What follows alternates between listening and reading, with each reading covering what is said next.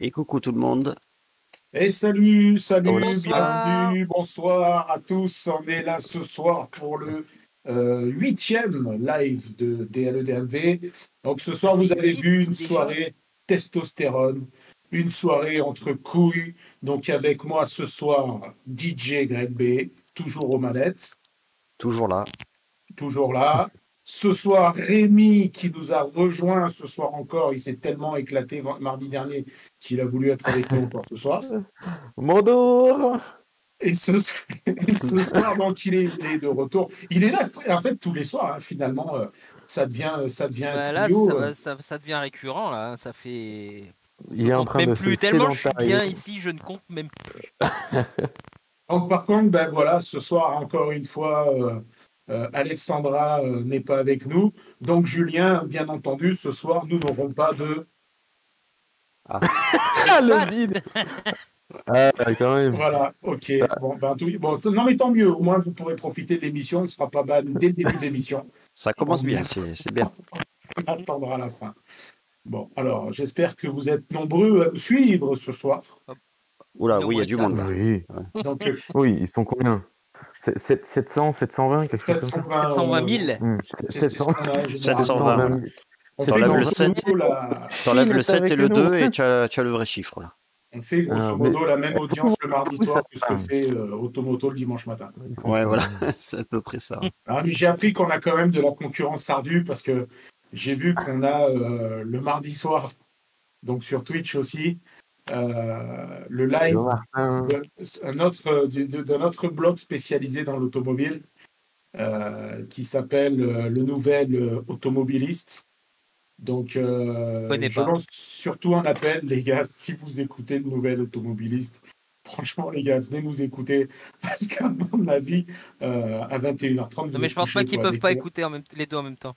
Non, mais il va falloir qu'on trouve, euh, va falloir qu'on trouve des trolls, tu vois, pour aller troller. faut une sur armée de trolls, en fait. Voilà, sur Ouais. les autres émissions en live, parce que moi, le mec qui va écouter, j'ai regardé la présentation de, de- du live de ce soir, parce qu'ils font une petite vidéo qu'ils publient dans l'après-midi où ils présentent leur émission. Euh, moi, alors, je sais pas vous, mais moi, rien que sur le petit teaser de 10 secondes, je me suis endormi. Ah bah. Donc, j'ose imaginer sur l'émission le soir. Non, on est méchant, mais euh, putain, euh, enfin, faut, il faut, faut qu'ils arrêtent de se prendre au sérieux un peu, les gars, dans la bagnole, quoi. Enfin, bref, bon, ben Je, écoutez. je savais même euh, pas qu'il existait d'autres sites de bagnoles. Bah, écoute, Bah, moi non euh, plus. moi, je, moi, je, sa- ouais, je savais qu'il en existait quelques-uns, mais bon, euh, en tout cas, euh, Non. loin d'être à notre niveau. Loin d'être au niveau de DLEDMV, bien Au moins, il n'y en a qu'un, le seul et l'unique. Voilà. Le seul plus. qui brille, la lumière. De toute façon, il ne peut y avoir qu'un seul Dieu. C'est ce qu'on dit, ouais. C'est ce qu'on dit. Voilà. Bon, ben écoutez, comme tous les soirs, je vous ai euh, préparé une petite sélection euh, de, de news, d'infos que je suis allé chercher dans les méandres du net. Et euh, voilà, histoire de, de voir un peu euh, qu'est-ce qui s'est passé dans le milieu de l'automobile depuis, euh, depuis notre dernière émission de mardi dernier. Ouais. Donc, je ne sais pas si vous avez suivi un peu de votre côté euh, les news, les Moi, je pense que ça sent de moins en moins l'essence quand même. Alors, alors putain, voilà. c'est- C'est c'est quand même, je, je, je, je le dis parce que c'est c'est compliqué. euh, Non, c'est moi qui l'ai dit. C'est Julien qui l'a dit. Oui. Voilà, ouais. techniquement, effectivement. Faut Mais c'est vrai que c'est hyper compliqué euh, et ça l'est de plus en plus en vous cherchant des news, des trucs un peu sympas à raconter sur les bagnoles essence, de trouver de la substance parce que euh, parce qu'on se rend compte que les caisses intéressantes, euh, intéressantes pardon, hein, ben, le Ah, lapsus, tu vois, le il lapsus, était- ouais, tu vois. il était Joli lapsus.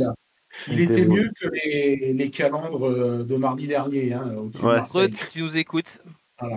Donc, euh, donc, euh, non, c'est vachement bonjour. compliqué parce qu'il y a de plus en plus d'infos qui, sont, qui semblent intéressantes, avec des bagnoles qui semblent assez jolies, assez, assez performantes. Sauf que ben, quand vous creusez, euh, ça pue la pile quoi, dans le truc. hein. Ben ouais, on y arrive. hein. Donc, euh, alors des fois, je me dis, euh, bon, euh, l'avenir n'est pas si noir que ça, euh, puisque il va rester la voiture de collection. Et puis là-dessus, bah, tu, te, tu te coltines les réseaux sociaux où tu vois passer tous les clubs d'anciennes. Ils sont quand même formidables. Je ne sais pas si vous avez suivi là cette semaine. Donc vous avez vu actuellement les voitures anciennes.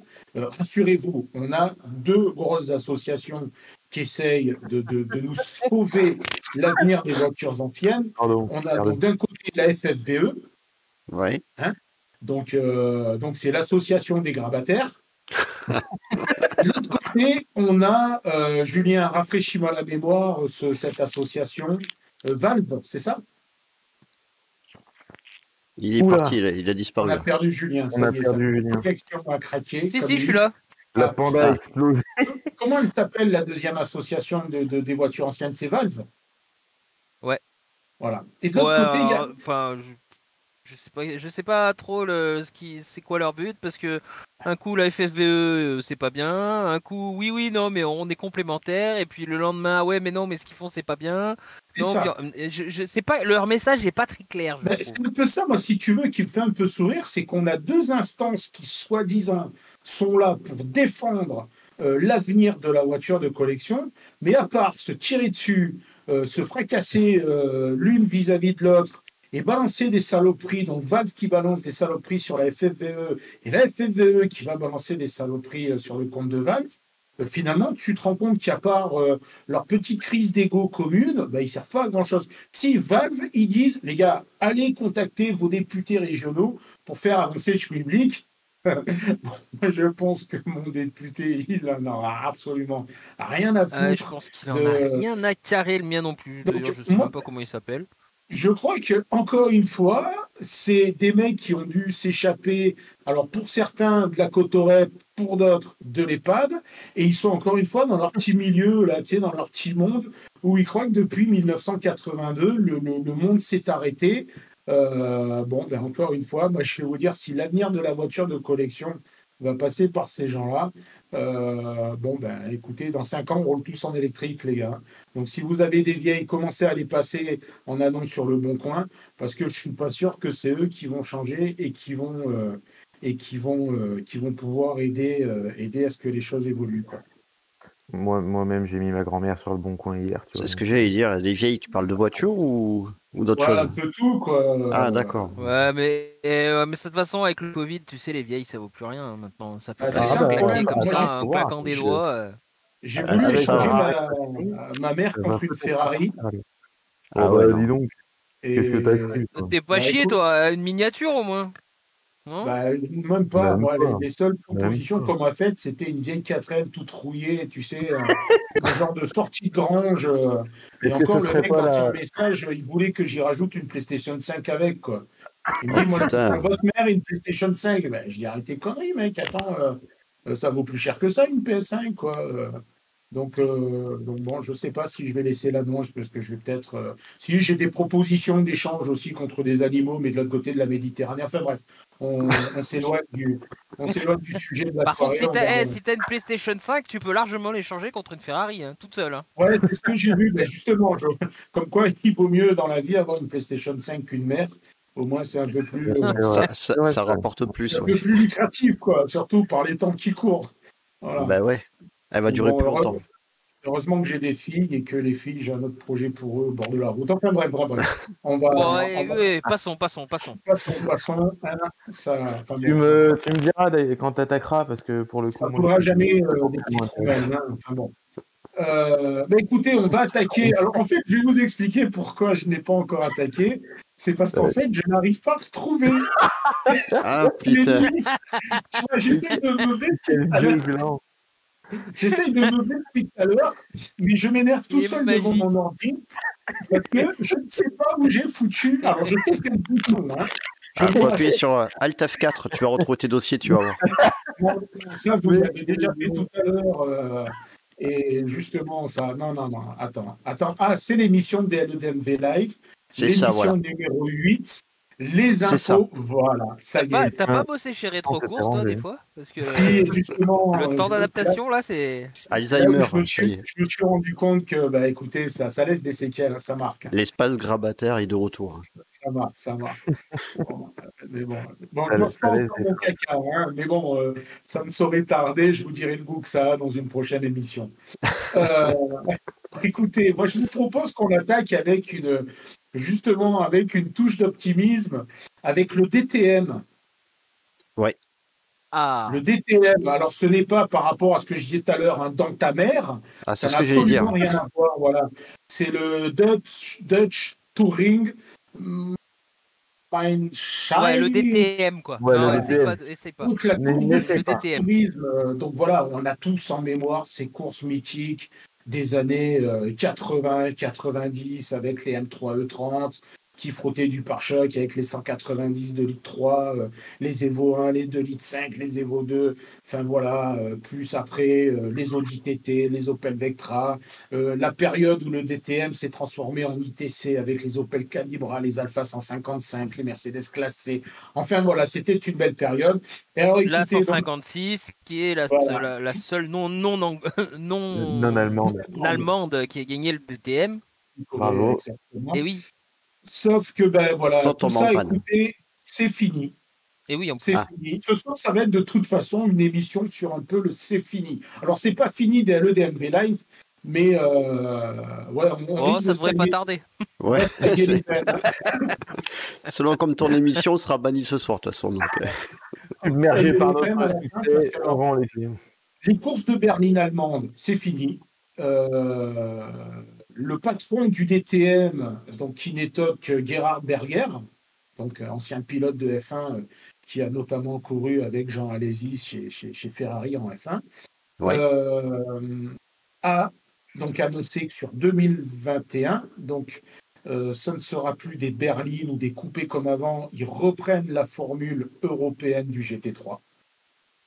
Ah oui. Donc ça sera ben, un peu les mêmes. C'est ce qui faisait un peu l'attrait du DTM, c'est que c'était quand même une des rares courses de tourisme qui avait vraiment un niveau, euh, euh, un niveau assez impressionnant. Je pense que c'est pour ça que les constructeurs ont petit à petit euh, jeté l'éponge parce qu'ils étaient réellement obligés de développer des voitures spécifiques au DTM et qui ne pouvaient quasiment, même c'est même pas quasiment, qui ne pouvaient courir dans aucun autre championnat en parallèle. Euh, donc du coup, ben, ils ont préféré balancer la formule GT3 ouais. là-dessus, Euh, sachant qu'ils vont quand même s'internationaliser au niveau européen, puisqu'il y a une manche qui est prévue dans le championnat 2021 en Russie, il y a une manche qui est prévue à Monza en Italie, ils vont aller faire une manche en Autriche, une autre manche à Spa en Belgique, plus après donc des manches bien entendu en Allemagne. Ils vont lancer le DTM Trophy, donc qui elle va se baser sur le règlement GT, donc ce sont des GT3 un peu plus soft, qui va servir donc le DTM Trophy à lancer les jeunes talents euh, allemands dans la catégorie. On va quand même, on respire, retrouver le DTM classique qui lui va reprendre toutes les anciennes gloires du DTM, donc notamment le DTM, le DRM, mais on va aussi retrouver des, voitures de groupe C, donc les prototypes euh, des années euh, 80 et 90, mais aussi éventuellement des Formule 1. On va grosso modo, donc avec le DTM classique, se rapprocher de ce que fait Peter Otto en France, avec les 10 000 tours du Castellet, avec le Mont Classique.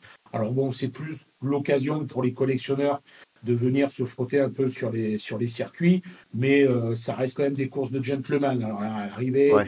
il y, y a un podium, on remet une coupe, voilà, hein, un pilote reste un pilote, mais ça reste assez, assez soft. Et alors après, il va y avoir en fait, voilà, il va y avoir cinq catégories. Et alors les deux dernières, alors là, moi, je- quand j'ai vu ça, je suis tombé un peu des nudes. Il va y avoir donc ce qu'ils vont appeler le DTM e-sport. Alors ça n'a rien à voir avec l'électrique. Ce sont des courses virtuelles. Voilà, Gran Turismo arrive dans le DTM. Sur, Donc, sur euh, console, quoi. Ouais, Grand. Turismo, fais gaffe, parce que là, c'est c'est vexant pour eux. Donc oui, non, mais enfin, je sais pas à quoi ils vont jouer. hein. Mais bon, je sais pas, moi j'ai encore du mal. Alors, je sais que ça se fait puisque j'ai vu que euh, Romain Grosjean, euh, justement, euh, après son accident de Grand Prix de Dubaï, a participé à énormément de courses euh, en virtuel. Alors bon, je, je ne savais pas que ça avait autant d'importance. Euh, Ah, le e-sport, oui, si, ça prend de l'ampleur. Ouais, mais ça prend de beaucoup, beaucoup. Hein. Vraiment. Je- beaucoup. Ouais, mais j'ai du mal, je sais pas, c'est- ça n'a pas de saveur, quoi, un peu. C'est comme, c'est comme la, la, la Bah, Totale, tu vois, la bière sans alcool, Il, quoi, faut, le il truc. faudrait. Bah, ça a de la saveur pour ceux qui y jouent, si. Ouais. Ouais, ça coûte moins cher euh, saison. Et puis ça coûte moins cher que de courir en vrai. Ouais, c'est je, te, carrément. re- je te rejoins, un petit simulateur dans le salon, et puis c'est bon, quoi, les mecs. euh, Et honnêtement, tu peux, Bah tu peux avoir quand même de, un peu de sensation. Alors bien sûr, c'est pas, c'est- très différent. on a Mais eu euh, quand t'as un bon simulateur, quand t'as du, du matos qui va bien, euh, c'est assez sympa. Tu peux retrouver, euh, tu peux On a retrouver eu certaines l'occasion avec Greg Oui, euh, à Montpellier, c'était cet été, hein, oui, c'est ça, ouais. D'aller voir un, un mec qui court euh, sur Ford GT40, etc. Et qui avait dans son bureau un vrai simulateur professionnel. Donc, tu sais, Ouais. trois écrans euh, euh, Ouais, ouais. qui t'entourent. Bon, c'est- c'est- bon euh, je sais, je me rappelle plus le nom. Tu n'avais pas essayé, toi, Greg? Non, mais c'était Project Car 2, ouais, c'était euh, Voilà. jeu de Ouais, simulation de Project bagnole. J'ai essayé. Euh, bon, moi qui suis un fidèle de chez fidèle de la première heure de Gran Turismo, bon, c'est pas une simulation, hein, attention, on va pas comparer euh, Gran Turismo et Project Cars. Mais honnêtement, j'ai pas kiffé, quoi. Euh, je sais pas. Alors oui, tu as le siège, tu as les, les haut-parleurs dans les oreilles qui essayent de te foutre dans l'ambiance. Parce que c'est plus de ton âge. Ouais, sûrement, sûrement. C'est plus de ton âge. T'as t'as changé depuis que t'es passé chez Retro Course. Ouais, Moi, ouais. C'est plus ton âge, toutes ces vois, conneries là. Je pense qu'il faudrait, euh, qu'il faudrait ajouter euh, là euh, sur, sur le chat un, un bouton alerte vieux con, tu vois, Ouais, alerte c'est ça. boomer. comme des vieux cons. Et, il d'un coup ça fait du du ça- avec un gros truc rouge avec marqué alerte vieux con. tu- Et je le ferai, ouais. Et ça fait des semaines qu'on dit qu'il faut qu'on trouve des jingles là, Ouais, qu'on trouve un comment intégrer jingle des jingles. et, et un bouton vieux con, tu vois, ce serait vraiment pas mal. Ça pourrait nous, nous cadrer un peu. Non, je- mais je ne sais pas de qui vous parlez en parlant de con, en fait, depuis 32 minutes. Je ne vois pas de Euh, qui vous- Et moi, je dis ça comme ça, ça réfère à tout ce qui est, tu sais, les gens qui tréfouillent dans leur dossier pendant des heures en meublant sur le chat, par exemple. Ah, Ouais, par exemple. Ceux qui Oui, mettent- alors, je vais la faire avant que vous me la fassiez dans la soirée. Ceux qui rajoutent euh, 7 litres d'huile dans votre bagnole alors qu'il en faut que 2 litres. Par exemple, oh, voilà. D'accord, Par exemple. ok, voilà. Ah, gars, c'est con, j'y pensais plus à qui celle-là, tu vois. Ah, parce que je l'ai faite une fois, tu vois. Bon, je vais pas la ressortir à chaque fois non plus. J'en trouve Non, à d'autres, chaque tu fois, vois. des- non, mais. euh, J'ai trouvé un mercenaire tchétchène, il sera chez toi entre vendredi soir et dimanche matin. Ah, ouais, viennent. pitié, tu sais pas utiliser. qui, ramène de la vodka. Tu vas nous faire croire que tu as utilisé le, le Darknet. Et donc, pour finir, donc pour revenir, s'il vous plaît, redevenons sérieux, moins Bon. 30 secondes, remettons-nous au niveau du, du nouvel automobiliste. Donc, oui. bien Oula. entendu, donc à partir de 2023, on va avoir droit au DTM électrique. Ah, parce que oui, c'est obligé, ça. Voilà. Alors là, par contre, ils ont sorti quand même des caisses qui sortent 1200 chevaux. Donc je pense que voilà, il y, a- il y a des photos qui défilent. Et qui font 3 tonnes 5. Alors, non, alors, honnête, alors c'est des courses sprint de 30 minutes. Par contre, je pense qu'honnêtement, ils, ils ont mis un point de règlement qui, je, je pense en toute honnêteté, qu'il va falloir suivre, euh, qui risque d'être intéressant, avec changement de batterie. Ah oui, que Bah, ils sont 30 obligés, minutes. sinon elles tiennent pas plus. Voilà, c'est pas- pas, fait- c'est pas un règlement, c'est une nécessité. Regarde le- en, en- comment ça s'appelle la Formule E là, ils ont deux voitures, ils courent avec deux voitures à chaque fois. ça. Non, Ils peuvent pas, ils peuvent pas faire le plein. c'est que maintenant, c'était la première saison. en- en Ils ont pas la rallonge. Les ingénieurs vont Tire mettre en fil place guidé. pour les TM va peut-être être intéressant pour pouvoir prolonger la, Ça veut dire que quand tu veux faire un Marseille-Paris avec ta Tesla, tu pourras t'arrêter à, à Mâcon pour qu'on te change les batteries, tu vois. Non, mais il faudrait, ah, sais, non mais un truc comme dans les, comme t'es- les, les autotamponneuses là, t'as un, t'as un fil qui tient avec un grillage, tu sais, électrifié en haut et puis voilà, comme ça tu peux rouler. Bah, comme- tu peux rouler quand on Comme, comme les bus, quoi. Ouais, comme un trolleybus. tu tu Pour une meurs rallonge. électrocuté. Ils te foutent une rallonge de 700 bornes dans le coffre, Avec un touré. Ouais, voilà. sur un enrouleur, là. Bah voilà, très bien. C'est vrai, c'est Avec vrai. un groupe Non, électrogène au cas où. franchement, les ingénieurs, quand, Voilà. quand ils n'ont pas envie, ils n'ont pas envie, de toute façon. C'est Non, ça, non. c'est les Ils, ingénieurs. ils ont pas envie. Moi, je pense qu'il y a complot. Euh, en plus, ces derniers temps, c'est à la mode, donc je pense qu'il y a complot. Euh, c'est à Euh, cause de la 5G dans les vaccins de, de Bill Gates, ça.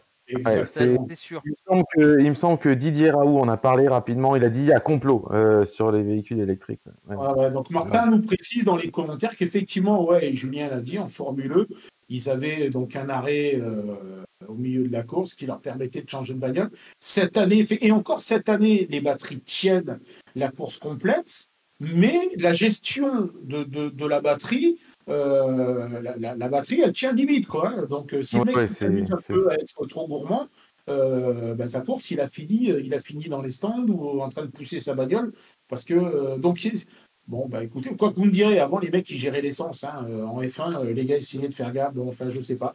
Mais voilà, donc à partir de 2023, on aura un DTM électrique qui viendra donc en complément. Donc je vous les répète, parce que mardi prochain, donc les gars, il y aura interrogation écrite. Donc Oui. le DTM GT3, le DTM Trophy, le DTM classique, qui à mon sens sera le seul qui sera sûrement. Alors GT3 sera sympa, mais enfin bon, euh, il n'y a plus besoin de se faire chier à l'appeler DTM. hein. GT3, on l'a on l'a en France, on l'a maintenant sur tous les, les pays européens. Le DTM e-sport, donc la version euh, virtuelle, et le DTM électrique à partir de 2000, euh, 2023. Donc écoutez, on va suivre ça euh, tranquillement. Donc, ça veut Bon, dire euh, que d'ici 5 à 10 ans, toutes les compétitions auto seront, seront électriques.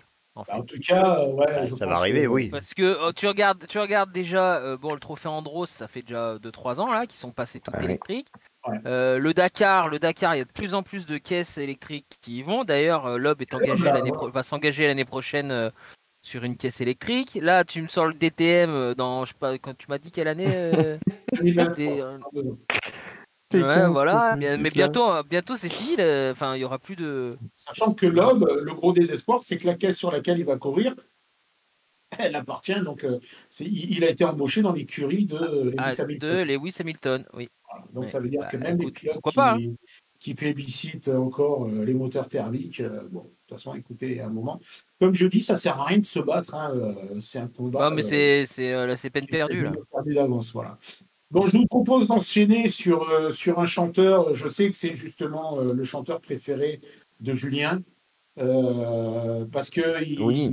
il- il a sorti une caisse qui, est- qui est un peu spéciale. Je suis tombé là-dessus. Euh, je ne vous cache pas que moi, j'ai bien aimé le délire, hein, ce petit côté un peu. sais, Futuriste. Ouais, ce petit côté un peu iRobot, tu vois, ou, ou un film de. euh, voilà, qui, qui- qui est assez. Minority assez- Report, tout ça. Ouais, exa- Ouais, c'est ça. Donc c'est une. euh, Alors à la base c'est, bon, vous l'aurez reconnu. hein, à la base c'est une, une Rolls euh, qui euh, a été refaite par l'équipe de West Coast Custom. Et la voiture donc s'appelle la Rolls-Royce Vision Next euh, 100. Donc je vous le dis à la française. hein, euh, donc Next 100. Et euh, Ouais, non, mais re- reste sur la française, c'est mieux, je pense. et par contre, ce qu'ils ont fait, c'est qu'ils ont viré donc le V12 pour y mettre un pareil, un moteur 100% électrique. Euh, donc on n'a pas plus d'infos. Alors, moi, il y, a- il y a quand même un truc qui m'intrigue. Alors, dans le fond, honnêtement, hein, en toute Ouais. honnêteté, je trouve pas ça si dégueulasse que ça, malgré contre Non, toute attente, tu vois. Voilà, mais par contre, comment il fait pour tourner les roues? En, en fait, tu vois, les, les, les je veux, bien qu'il- trop- je veux bien que tu peux aller tout droit avec, mais comment il fait pour faire un Non, créneau? en fait, alors ils expliquent que l'objectif, quand ils ont déjà, tu, tu remarqueras qu'ils ont quand même foutu, poussé le vis jusqu'au bout. Ils ont mis les deux sorties d'échappement. Ouais, alors, alors c'est là, quoi je c'est de la sert glace à la absolument vanille ou à- c'est quoi? rien. hein. On dirait un mec qui vient de s'acheter une Audi S, hein, qui a une sortie qui sert à rien et, et une qui éventuellement peut-être. Mais en fait, ce qui s'est passé, tu vois, c'est qu'il a élargi les ailes qui, afin de permettre aux roues de pouvoir se déployer dans les ailes. Leur objectif, c'était de, de donner l'illusion d'une voiture qui flotte. Ah. Voilà. Putain, Martin dit ça, ouais, les roues euh, braquent, mais dans les arches, en fait. C'est ça, les roues Hmm. braquent dans les arches. Tu ne les vois pas. T'as pour, euh, Donc ça Alors, veut dire que ah ouais, euh, les, les arches doivent être vachement élargies quand même. Ah oui, Alors, tu vois, c'est une photo Martin, de les trois roues, quarts c'est arrière. 13 pouces, donc euh, t'as de la place. Si, c'est- si t'as Elle fait combien de large Elle fait combien de large 13 cette pouces. pièce Elle doit être super large. Déjà Ouais. qu'une Rolls à la base, ça doit faire plus de 2 mètres de large. Regarde là, sur la même ça pas. fait pas plus de 2 mètres. Une Aventador, ça fait 2 mètres, je crois. À peine plus avec les rétros, je crois. Mais, mais oh, une Rolls, c'est c'est gros une Rolls. Ah, Par une Aventador, euh, Quand tu crèves, c'est quoi? C'est 8 heures de boulot pour changer ta roue? C'est comment ça se passe là? Et la dépanneuse, elle fait comment là Tu, tu, Non, tu mais passes pas un tu- clic là Attends, attends, Justin Bieber, quoi. le mec quand il Non mais, crève, mais ouais, mais nous on est pragmatiques, tu vois. Nous, nous on Justin pense à ces choses-là. Justin Bieber, lui, il s'en bat les couilles. quand il crève, il passe ces coup de fil, il y a un hélico qui vient le chercher, tu vois. Ah ouais Mais oui. Et, Ouais. et il appelle Ouais. West Coast Custom, il se fait même pas chier à changer les roues.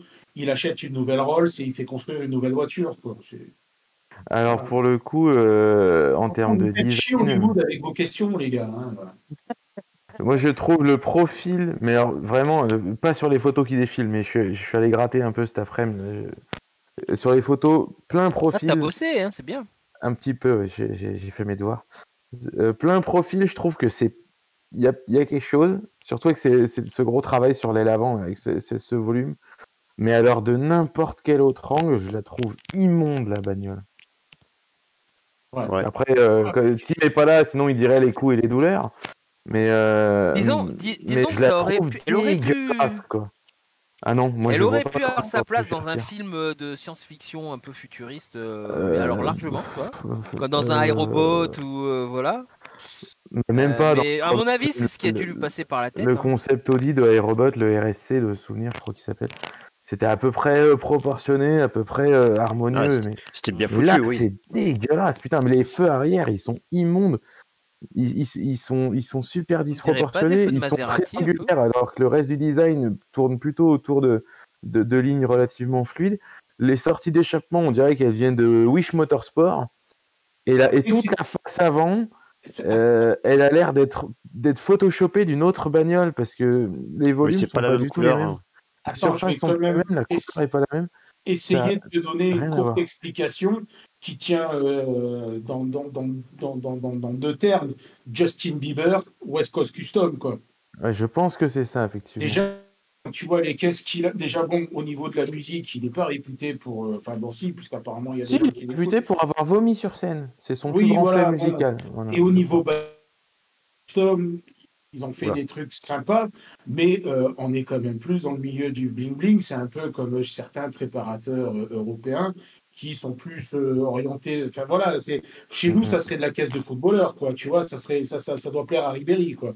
Il me tarde de voir la version de Weshden, ça doit être sympa. Ouais, non, mais elle, elle le fera avec une Twingo. Ah oui, C'est vraiment Weshden, euh, bon, pour le moment, elle le fera avec une Twingo. Enfin Alors, voilà. encore que, je crois, mais qu'elle est même pas majeure, donc elle le fera avec un vélo, Moi, je trouve juste quand même- Vélib. avec Je un trouve Vélib, ouais. juste quand même que ça prend, s'en prendre à une Rolls, c'est quand même couillu. Parce que bon, on n'est pas sur une caisse où tu dis si je me rate, bon là tu me diras, finalement, te poser la question, je me rate ou je me Mais rate pas, tu parles, il doit en avoir poser. 4 dans son garage et qui Voilà, s'en bat donc, euh, et puis je trouvais que oui, tu vois, dans un Blade Runner euh, ou dans un Demolition Man, ben, par contre, je fais exprès de choisir ces deux films parce que pour moi, le style, je les rattache vraiment dans les films des années de science, des films de science-fiction mais des années 90, tu vois. Ouais. Ah oui, Demolition Man, oui, oui, ça aurait, Ouais, oui, ça voilà, aurait pu, Demolition Man ou ouais. Runner, mais pas le, le, qu'ils ont fait il y a trois ans, celui avec Harrison Ouais, ouais. Ça aurait pu, ça aurait pu être. euh. Vangelis. Je vois plus voilà, de cette période-là. C'est bon, écoute. Moi, j'aime bien la face avant, en fait. Honnêtement, je trouve que la face avant, ils ont réussi à faire un truc un peu plus musclé. Ouais, sur, par rapport à la Rolls. Bon, après, l'arrière, honnêtement, tu enlèves que c'est une Rolls. Bon, je suis pas sûr que tu puisses le, le reconnaître. Enfin, voilà, écoutez, Justin Bieber roule en Rolls. euh, bah, tant mieux pour lui. Euh, moi aussi, je roule en anglaise. C'est- Non, alors tu, Ouais, enfin, quand, quand elle roule, quoi. tu as une anglaise. C'est très fini, différent. c'est fini. Ça y est, c'est fini. Là, dimanche, on est parti. Mon fils, ça y est, m'a fait tout ce qu'il y avait à faire. D'ailleurs, je ne sais pas s'il nous écoute. Charlie, papa te dit merci. Comment La ça, voiture. tu sais pas s'il nous écoute? Parce que c'est pas une condition pour, euh, Normalement, pour, pour si. avoir l'héritage Normalement, c'est- mais si, si, c'est obligé. Mais- Normalement, Non, mais attends. ou il nous écoute, ou l'invite à euh, manger dimanche midi, mais il n'aura pas à manger dans son assiette. Il mange dans son Ah bah, assiette. euh, ouais. Voilà. Mais euh, logiquement, il Non, doit... Ouais, voilà, exactement. Le cinquième élément aussi, c'est une bonne référence, euh, euh, Mm. Martin, pour la Rolls. Donc, euh, non, non, mais ça y est, la Jaguar, je vous rassure, on est allé faire une belle balade euh, samedi après-midi. Écoutez, ça y est, tout est rentré dans l'ordre. euh, il a été jusqu'au bout de son choque plus. 27 cours. euh, il est revenu impeccable. Aucun problème. Voilà, c'est la première fois que je Euh. la prends en faisant autant de kilomètres où euh, elle va du point A au point B sans un voyant qui s'allume, sans un, un- une jauge qui se mette à faire la, la- n'importe quoi. 60 Donc, litres d'essence, 10 litres d'huile. c'est Bonne balade, quoi. J'en ai profité, je suis allé à la messe bonne friteuse. j'ai allumé un cierge. Oh on ne sait jamais, ça C'est pourra vrai peut-être. euh, j'ai fumé le cierge. sur ah bah. Je pense que tu auras bien besoin de toute la puissance des pouvoirs divins pour qu'elle continue à rouler. Oui. Ok, bon, écoutez, c'était, c'était- Voilà. Donc, non, non, je suis désolé. La Jaguar n'est plus une source de moquerie. Mm. Par contre, Bon. celle qui arrive, Oh, bah si, elle le sera toujours maintenant, hein, tu sais. Oui, celle qui arrive aussi, Alors, c'est c'est elle Elle qui a l'air arrive. sympa parce que, alors, elle, elle est si. Alors, vous avez vu, bon, c'est bien entendu. En regardant la photo, vous allez euh, reconnaître que dalle. ses- son origine. Hein, c'est une- c'est un mythe de l'automobile américaine Tout à Euh, qui, euh, qui a été euh, en plus fabriqué à très peu d'exemplaires, puisque donc la base c'est la Corvette euh, Split Window. Elle a Donc, pas de roue, celle-là. euh, Alors Non, non, ce- celle-là ils ont fait que le haut. Ils ont Euh, fait en fait, c'est- en fait, c'est c'est un bureau euh, d'études qui s'appelle le Studio AVA, qui a lancé donc cette étude qui va s'appeler le la l'AVA Stingray. Euh, elle va être plutôt pas mal, hein, euh, Ah, euh, seulement elle va être électrique. elle va- voilà. Va aller Ah. vite ou pas? Ben, alors ils annoncent Bah, elle va aller vite de 0 à 100, puis après, plus rien. voilà, quoi. elle va, elle avoir euh, apparemment quoi. 1000, euh, 1200 chevaux sous le capot. Elle va Ah avoir bah. 1200 chevaux? Ouais. Mais à l'électrique, ça paraît impressionnant. Bon, après, c'est toujours pareil, il va y avoir un couple de, de, de Caterpillar là-dessus. Donc, ça va tomber de 0 à 100 en, euh, en 2 secondes 3. Euh, Ouais, comme la, comme la Tesla. ça Ça va- fait euh, voilà. 1900 kilos, quoi. Non, mais pour une ça, voiture ça des va accélérer 60. sur du 400 mètres. Et puis après, une fois que la batterie commence à perdre, euh, ça va. Mais voilà, donc euh, c'est encore une fois. enfin, c'est surtout parce que, comme mardi dernier, on avait parlé d'un éventuel revival de la, de la DMC de l'Oriane. Ça peut Donc, être il faut sympa. croire que la, le, le revival est tendance. Alors, bon, bon, ça l'est depuis quelques années. Mais là, ils sont en train de nous ressortir un peu toutes les icônes. Alors, après, voilà, pour la petite histoire, on est quand même sur la split window. Donc, la split window, c'était la, la toute première donc, génération des Corvettes C2, où il y avait donc ces deux, ce- ce- ce- cette lunette arrière qui était séparée en deux parties, plus une spécificité qui était les aérateurs au niveau du, du- capot. Et en fait, Corvette, Chevrolet ne l'a sorti que sur, euh, je vais dire, un millésime et demi, parce qu'à partir de, de, de 64, ils l'ont remplacé. Alors, parce qu'ils avaient peur qu'avec la vitesse, ces, ces, prises d'air qu'il y avait sur le capot s'envolent. Et euh, donc, après, du coup, et à l'arrière, ils, ils ont passé la vitre sur euh, une seule lunette arrière monobloc plutôt que ces deux éléments séparés. Euh, donc, ce qui a donné ce petit côté un peu spécifique à la, à la split window. Euh, et, et sa rareté, puisqu'aujourd'hui, euh, à chaque fois qu'une vraie split window, puisque bien entendu, il y a des, spécialistes. Voilà, il y a des spécialistes qui se sont mis dans la, dans la réplique. Donc je vois que Martin, tu marques 67. Non, non, je te confirme, hein, la split window, c'est bien la Corvette 63, 63 et 64. Voilà, et en 64, en fait, c'est là où ils sont passés sur la C2 qui a été modifiée. Euh, c'est vraiment spécifique à ce, à ce millésime-là. Donc, euh, il y a cette histoire de, de, de, de, de- de revival qui va arriver. Donc, euh, bah, écoutez, euh, la Ava Stingray, donc, euh, elle va voir euh, à quoi ça va ressembler. Quoi. Ah oui, bien sûr.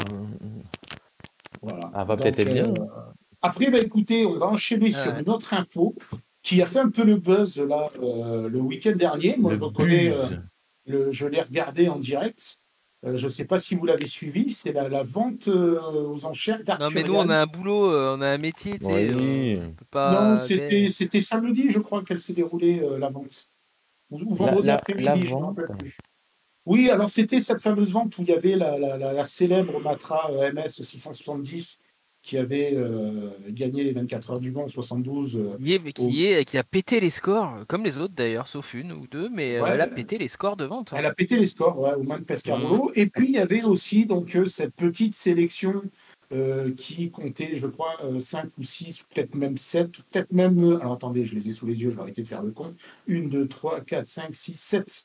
7 groupes B euh, qui étaient exposés au, au musée de, au musée de Michel Homel et de- d'Olivier Kennel, donc le manoir de l'automobile À. Voilà. Et alors, manifestement, tout allait bien, hein, puisque quand ils ont déposé le bilan, ils ont dit vous inquiétez pas, rien ne sera touché au niveau du manoir. Et puis, quinze jours après, ils mettaient, euh, ils mettaient en vente euh, sept de ces pépites. euh, qui ont vachement fait parler d'elles, hein, euh, quand même, ces dernières semaines. Euh, et donc, ben, écoutez, si vous voulez euh, les chiffres, euh, oui, alors elles ont pété le score, effectivement, puisque la, la Matra, donc la MS 670, alors pareil, ça me fait un peu sourire parce que tu regardes un peu de partout les commentaires, tu sais, les mecs qui chialent, oh là là, c'est malheureux, Matra qui se sépare de son trésor de guerre. Putain, les mecs, arrêtez de tout le temps vous plaindre. Euh, moi, je pense que la caisse, il vaut mieux qu'elle se retrouve dans la collection d'un richissime japonais ou d'un richissime américain, plutôt ce qu'elle soit au fond d'un hangar euh, à prendre la, la poussière, poussière, Et voilà, bon, effectivement, elle va peut-être. Alors, ils n'ont pas annoncé s'il y a euh, Eric Hellary qui. Non, c'est pas Eric Hellary, c'est Jean-Pierre Gagic qui connaît très bien. Donc, apparemment, le mec qui a acheté la 205 T16 et la R5 Maxi euh, Turbo et qui a Il paraît qu'il va les faire rouler. ouais. Voilà, c'était un collectionneur français qui les a rachetés. Euh, mais ce qui me fait marrer, c'est que par contre, les autres voitures qui ne sont d'origine pas française, la Ford RS200, la Metro 6R4, les deux Lancia, la 037 ou la Delta S4, Mm. personne ne se plaignait qu'elles étaient dans une collection privée française, quoi. Enfin, tu vois, c'est... c'est- c'est- D'ailleurs, la métro, elle a pas été Bah vendue. oui. hein. Alors, elle a été vendue, mais après l'enchère. Ah, parce que Voilà. euh, moi, enfin, moi, le- les dernières nouvelles que j'avais eues, c'est que la métro, elle Oui. n'avait pas atteint le prix de réserve et du coup, de elle réserve, l'avait pas vendu. sauf que tu sais que pendant les enchères, il se peut qu'après, un des enchérisseurs reprenne contact. Et euh, Ouais. une fois que le, l'enchère, enfin, une fois que le marteau est tombé, euh, rien n'empêche un enchérisseur de recontacter. En fait, voilà, après, il suffit qu'il contacte, il dit écoutez, moi je suis preneur. Alors, j'ai une petite anecdote d'ailleurs là-dessus, je vous la raconterai euh, quand on y arrivera. Alors, juste pour venir sur les chiffres, la Matra MS 670, on est à 6 907 000 euros. Donc, euh, on part bien hein, sur le. On est dans l'estimation. Hein. euh, Arthurian l'avait estimé entre 6 et 7 millions d'euros. Donc, euh, on est au niveau de la, de la barre haute. Euh, il y avait ensuite une Ford RS 200 bon, qui n'avait pas euh, forcément de palmarès ou une, qui, qui- qui était une voiture officielle qui, elle, est partie à 381 440 euros. Donc, ce qui est plutôt Ah, pas quand mal même. aussi pour, Il est déjà pas mal, hein. Oui, oui, c'est pas Ouais. La 6R4, donc voilà, on en arrive, la métro 6R4 au coût euh, 33 Export, si je dis pas de Oula, Ça a coupé. il y a eu comme un, comme un blanc. Vous m'avez toujours? Ah, ça Ah y est, bah, t'es ah revenu là. Oui, il y a- Ça y est. a coupé, ouais. Il y a eu comme un énorme On- trou. On n'a pas eu le chiffre du coup. On a failli tomber dedans même. Ouais.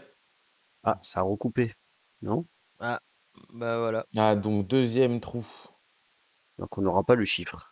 C'est Eh une ben, paire de Euh, trous. pouvoir euh, hein, tout. Oula Oula, ben ouais, Julien, Ouais, c'est pareil. ben, hein. alors, fais gaffe parce que tu vas pas tarder à finir en trou, toi aussi, à mon avis. Bon, ben, Il y a eu comme. euh, Mais on continue ou? Oui, oui, ben moi j'ai pas les chiffres sous les yeux, mais euh, cher à mon avis, je dirais. euh, j'ai pas les chiffres. ouais. Alors si, je crois que je les ai. Attendez, je vais ouvrir. Alors, sur la... C'est laquelle ça? C'est la métro 6R4. Yep. 244 360 euros. Ah, C'est- presque, c'est presque donné pour une caisse comme ça. Honnêtement, ouais, euh, c'est vrai que pour un groupe B, après la, la 6R4 n'a jamais été. euh, Ah, oh, ça y est, il est on l'a on l'a on l'a récupéré. T'es là? Est-ce Ah, que bah. le Titi était... Ah bah Titi est reparti. Eh ben, il est reparti. C'est le chiffre, je pense qu'il a dû s'évanouir. Titi est C'est bizarre parce qu'il Euh, bon, bref. Euh, il parle sur Discord, mais il n'y a rien, on n'entend pas de son. Bah, du coup, on va passer euh, à celle d'après, alors, du coup. Bah, vas-y, à, fais à la péter. Lancia. Alors, la Lancia, euh, Delta S4. euh, non, c'est la Lancia 037, celle-là Je suis revenu parmi vous? Ah, tu es Ah, revenu oui. parmi nous. Excusez-moi, voilà, j'ai eu un petit souci de connexion. Tu es revenu ouais. parmi nous. Ah, Alors, dites-moi tout. Donc, vous êtes, On en était à la Lancia. Laquelle donc En fait, vous La avez raconté donc pour la 030, la, la 0, la, la, la- La métro 6R4. Voilà, Oui. donc la métro 6R4, donc c'était une ancienne voiture avec laquelle euh, Didier Auriol a été champion de France. Oui. Oui. Euh, Ah bon Avec Et en fait, ouais, ouais, ouais. en fait, l'anecdote, c'est que euh, Didier Auriol a une petite collection de ces voitures.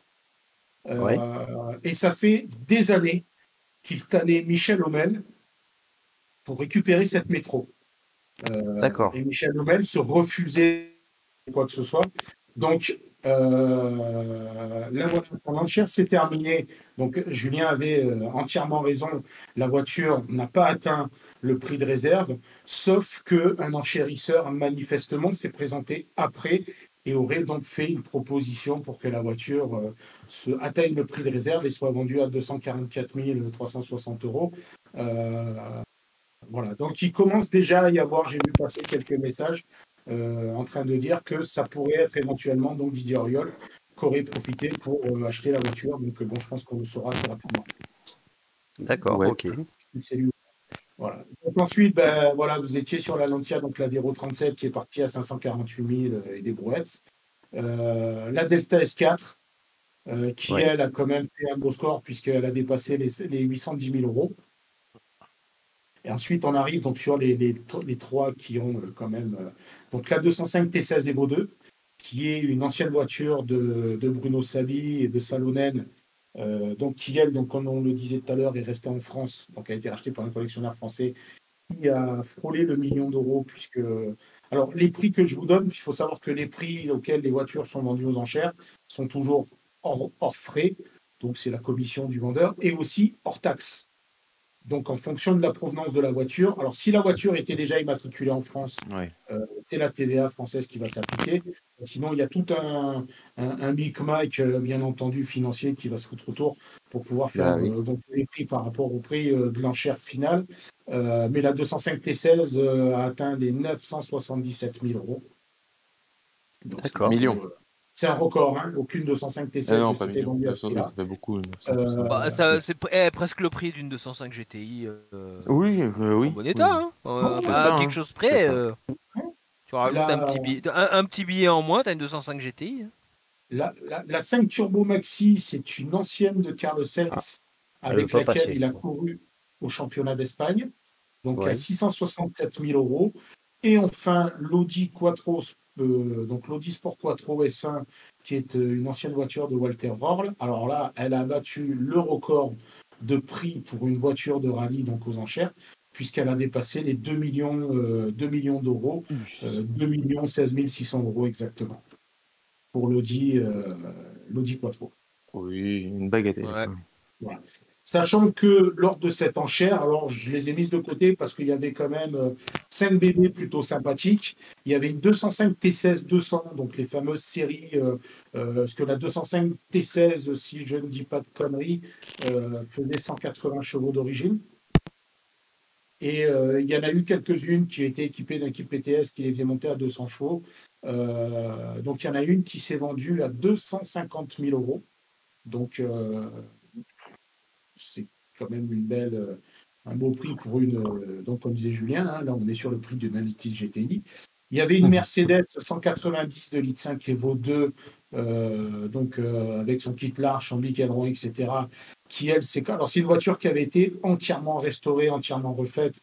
Enfin, il n'empêche qu'elle est partie à 9 à 196 680 euros. Donc, je sais pas si vous Bah, ça les vaut, les vaut. Ça les vaut deux C'était vaut. Voilà, ça les vaut. Ben justement, en étant sur Evo, il y avait une autre Evo qui était sa, sa grosse rivale, la M3 E30 Evo 2, donc euh, qui elle est partie euh, plus modestement à 71 520 euros. Euh, il y avait une Clio Maxi, une petite Clio de rallye, alors qu'il n'y avait pas de palmarès, euh, c'était pas une ex de Jean Agnotti, enfin voilà, elle est quand même partie à 197, 187 000 euros. Et il y avait aussi une originale BMW M5 production, donc une 28, euh, aux couleurs de Marlboro, euh, qui elle, bon, ne s'est pas vendue. Elle n'a pas atteint le, le prix de réserve. Voilà, donc euh, la vente arcuriale. Par contre, ce qu'il faut surtout remarquer, euh, c'est que euh, les classiques, entre guillemets, euh, beaucoup ont fait chou blanc, sauf, sauf une collection d'Aston Martin qui s'est plutôt euh, bien vendue. Et encore, elle, elle a eu tendance à se vendre sur la côte basse plutôt que la côte haute. On devient un peu chiant, là, maintenant j'ai l'impression, depuis tout à l'heure. là. Ah, non. Euh, ouais, je trouve aussi. bah, après, ouais, là, ça parle, parle un peu trop de. Enfin, ouais, Ouais. ouais, ouais, c'est chiant. Sauf que, C'est quoi la alors, suite pour vite finir, en fait, c'est très simple, c'est que ben, on se rend compte que celles qui se vendent bien et qu'on le, le- la cote en ce moment, ça fait quelques années qu'ils s'en rendent compte sur les ventes aux enchères, ben, c'est en fait toute cette génération euh, 70, 80, 90, donc ce qu'on appelle les Les Youg, alors oui, comme dit Martin, la, la T16 est Youg. Hein. Et Youg, Youg euh, cher, mais Youg quand même. c'est une, c'est une, c'est une authentique Youg. Ouais, c'est une vraie Youg. Ouh, c'est dur ce qu'il dit, Martin. de pour se sur une timer, ouais, et encore, euh, euh, je crois que même Est-ce que vous croyez que ça va prendre la cote Est-ce que vous croyez que ma 306 HDI va prendre la cote? Elle a pas d'option, elle est toute d'origine. Ouais. Alors, justement, Ah bah, tiens, en parlant de Hugh, il y a une Hugh là qui est en train de faire parler d'elle, c'est la Twingo. On les voit justement, les mecs qui commencent à débarquer avec les Twingo 1. Ah, Euh, bah tiens, d'ailleurs, j'ai fait. Il y a une très belle Twingo qui va passer bientôt sur DLEDMV. Oui, oui, oui. On Je ne vous dis que Twingo. ça. une belle là. Ouais. Oh là, le maître du teasing, quoi. Ouais, t'as vu ça un peu. Donc, vous Non, non, il y en a, de ouais, ouais. articles. Vous allez avoir une, il y en a une belle qui va arriver, là. bientôt. Euh, eh bien, écoutez, elles sont là toutes les trois, la Twingo 1, la Twingo 2, la Twingo 3. Eh ben, écoutez, il n'y aura pas de Twingo 4. C'est fini. Et ouais. Ah mince. Et voilà. Bah Voilà. déjà, enfin, disons que le- le- la vraie Twingo était déjà morte après la une. Hein. On est d'accord. Ouais. dire ce qui est. hein. La, la vraie Twingo, c'est la Twingo 1. Après, le reste, t'aurais pu l'appeler euh, Clio ou Tartampion, c'était Ah, de- ou Corsa, ou c'était la même. Hein. De toute façon, il n'y a qu'à regarder les chiffres. hein. Twingo 1, 2 600 000 exemplaires. Twingo 2, 900 000 exemplaires. Ah oui, quand même. Voilà. Donc la bête dit, on voit bien celle qui a lancé la mode, celle qui était mignonne. Et moi, je ne vous cache pas, putain, la Twingo 1, ça m'a toujours fait euh, euh, justement un peu dans le même esprit que, de, de- de- que celle qu'on va vous passer là. Mais euh, tu lui mets euh, quatre petites jantes en 15, là, un peu fat, avec euh, un petit dropage en règle. et en plus, il existe des, des- il y a pas mal d'accessoires hein, pour la pour l'énerver un peu, puisqu'il y avait la Twingo, la Twin Cup, où Renault vendait Ouais. des kits euh, pour les, les- les exciter un peu. Donc, Mais même, pense il y a plein de trucs de Super 5 qui sont adaptables dessus, les, les Ouais, c'est un peu du plug and play là-dessus, ouais, exactement. Ouais. Puis, Donc, non, bah, mais voilà, enfin, outre, outre ça, la, la Twingo 1, euh, enfin, ça reste une bagnole qui est, qui est légère et tout. Enfin, t'as as des astuces dedans. Enfin, à l'époque, c'était un concept. Hein. Moi, je me rappelle, je me rappelle très bien quand elle est sortie euh, au salon de Genève. euh, Enfin, enfin, tout le monde était en, en folie de cette caisse. Bah, En plus, elle coûtait rien. Elle avait, euh, elle avait des, enfin, le, le, le truc, le rabat, tu, tu pouvais rabattre les sièges, tu pouvais te coucher dans les sièges. C'était même dans la pub à l'époque et tout. Enfin, c'était, Ah oui, euh, oui. enfin, c'était une révolution à l'époque cette bagnole. Euh, tu vois, enfin, tu vois ce qu'ils ont, ce qu'ils ont fait à la Twingo 2. Enfin, je veux dire, ça avait plus rien à voir. C'était une bagnole Ouais, euh, lambda comme toutes les lambda, autres. Le seul reproche qu'on lui a fait à la Twingo, je ne sais pas si vous vous rappelez, c'est que euh, elle a tué la 4L, puisque Renault Ouais. avait annoncé qu'il ne pouvait pas continuer la 4L pour des questions de- d'homologation du Cléon Fonte. Et en fait, Oui. ça a été une grosse fumisterie parce que le Cléon Fonte, on le retrouvait sous le capot de la Twingo. Donc, euh, les puristes Renault euh, de l'époque avaient crié au scandale en disant que si la 4L avait disparu euh, du catalogue, c'était la faute à la Twingo. Bon, je pense qu'elle s'est Ah ouais, bien, mais c'est euh, bon, faut vivre avec son temps aussi. La Ouais, 4 voilà, ils allaient non, pas non, la mais faire pendant 50 ans non plus. hein. Elle s'est bien défendue depuis, puisque aujourd'hui, je pense que, ouais, euh, contrairement à ses homologues et sûrement à d'autres voitures de la gamme Renault, euh, la Twingo 1 va sûrement euh, rester dans les annales euh, de la marque. Alors, ça, ça va être, ça, c'est Hugh. hein. Ça, c'est vraiment Hugh, hein, la Twingo. hein. Ouais. Et de toute façon, toutes les voitures, à un moment ou à un autre, deviennent Hugh. Ouais. C'est Ah c'est oui. quoi, Hugh C'est 15 ans, Ouais, à peu près. 15-20 ans. C'est ouais, une collection Euh, de 30. Ouais, un bon vin. Un bon 20 ans. Ouais, un bon vin. un c'est bon bien, 20 ans, parce que bon sinon, ma, Fia- vin, ma euh. Panda, elle est Hugh aussi, quoi. Bah, elle va pas tarder. hein. Ouais. Donc, donc voilà, c'était surtout pour vous dire, bah, écoutez, si la Twingo, la Twingo 1 notamment, les deux. Alors les deux autres, attention, moi je vous mettrai quand même un petit bémol sur la Twingo 2, mais en, ver- en version euh, euh, RS, Ouais, idem.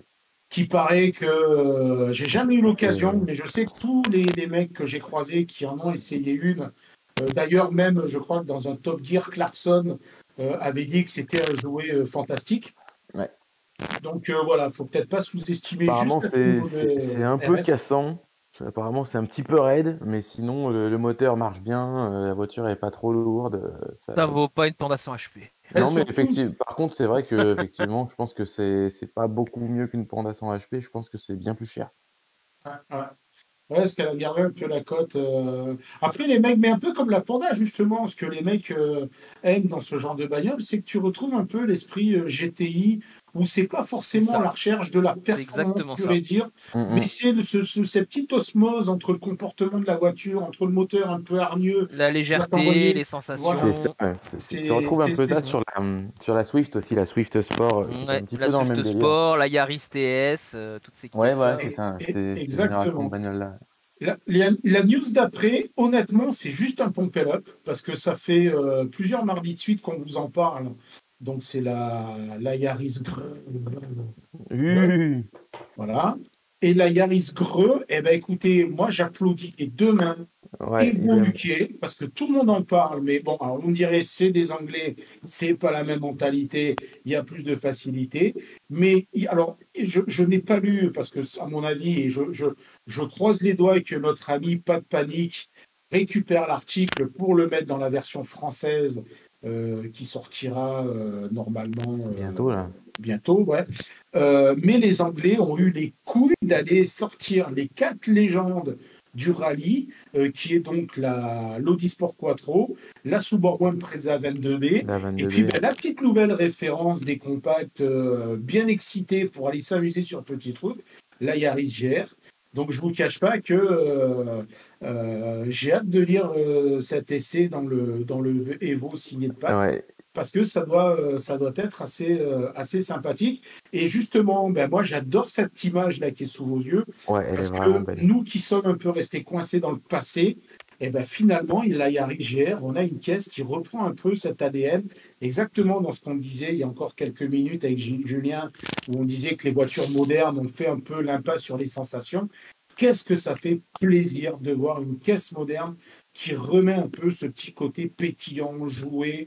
Moi, je- honnêtement, je tire mon chapeau à Toyota, qui a vraiment eu le, le, le, le- Ouais. putain, les couronnesses Ouais, d'y aller, quoi. Parce que Carrément. Peugeot n'a pas osé pousser le concept de la 208 GTI au bout du bout. Fiesta, Ford avec sa Fiesta nous a sorti une petite ST, mais putain, ils n'ont pas eu les couilles de nous faire une Fiesta RS. Et ben, euh, alors, Mm, mm. Toyota, c'est un peu le contraire, puisque la Yaris, euh, la première version TS, était assez timide. Mais putain, quand ils les ont sortis, qu'ils les ont posés sur la table, putain, les mecs, ils nous ont sorti un braquenard, mais un truc euh, digne de, digne de l'espace. Et là, moi, honnêtement, j'applaudis et euh, donc euh, Evo d'avoir eu bah, ce petit côté euh, sympathique d'avoir osé la comparer avec les, les- les- d'autres références. Alors, il y en a eu d'autres, hein, des références. On, Mm. on pourrait rajouter la Lancia Delta, chef intégrale, euh, Evo 2.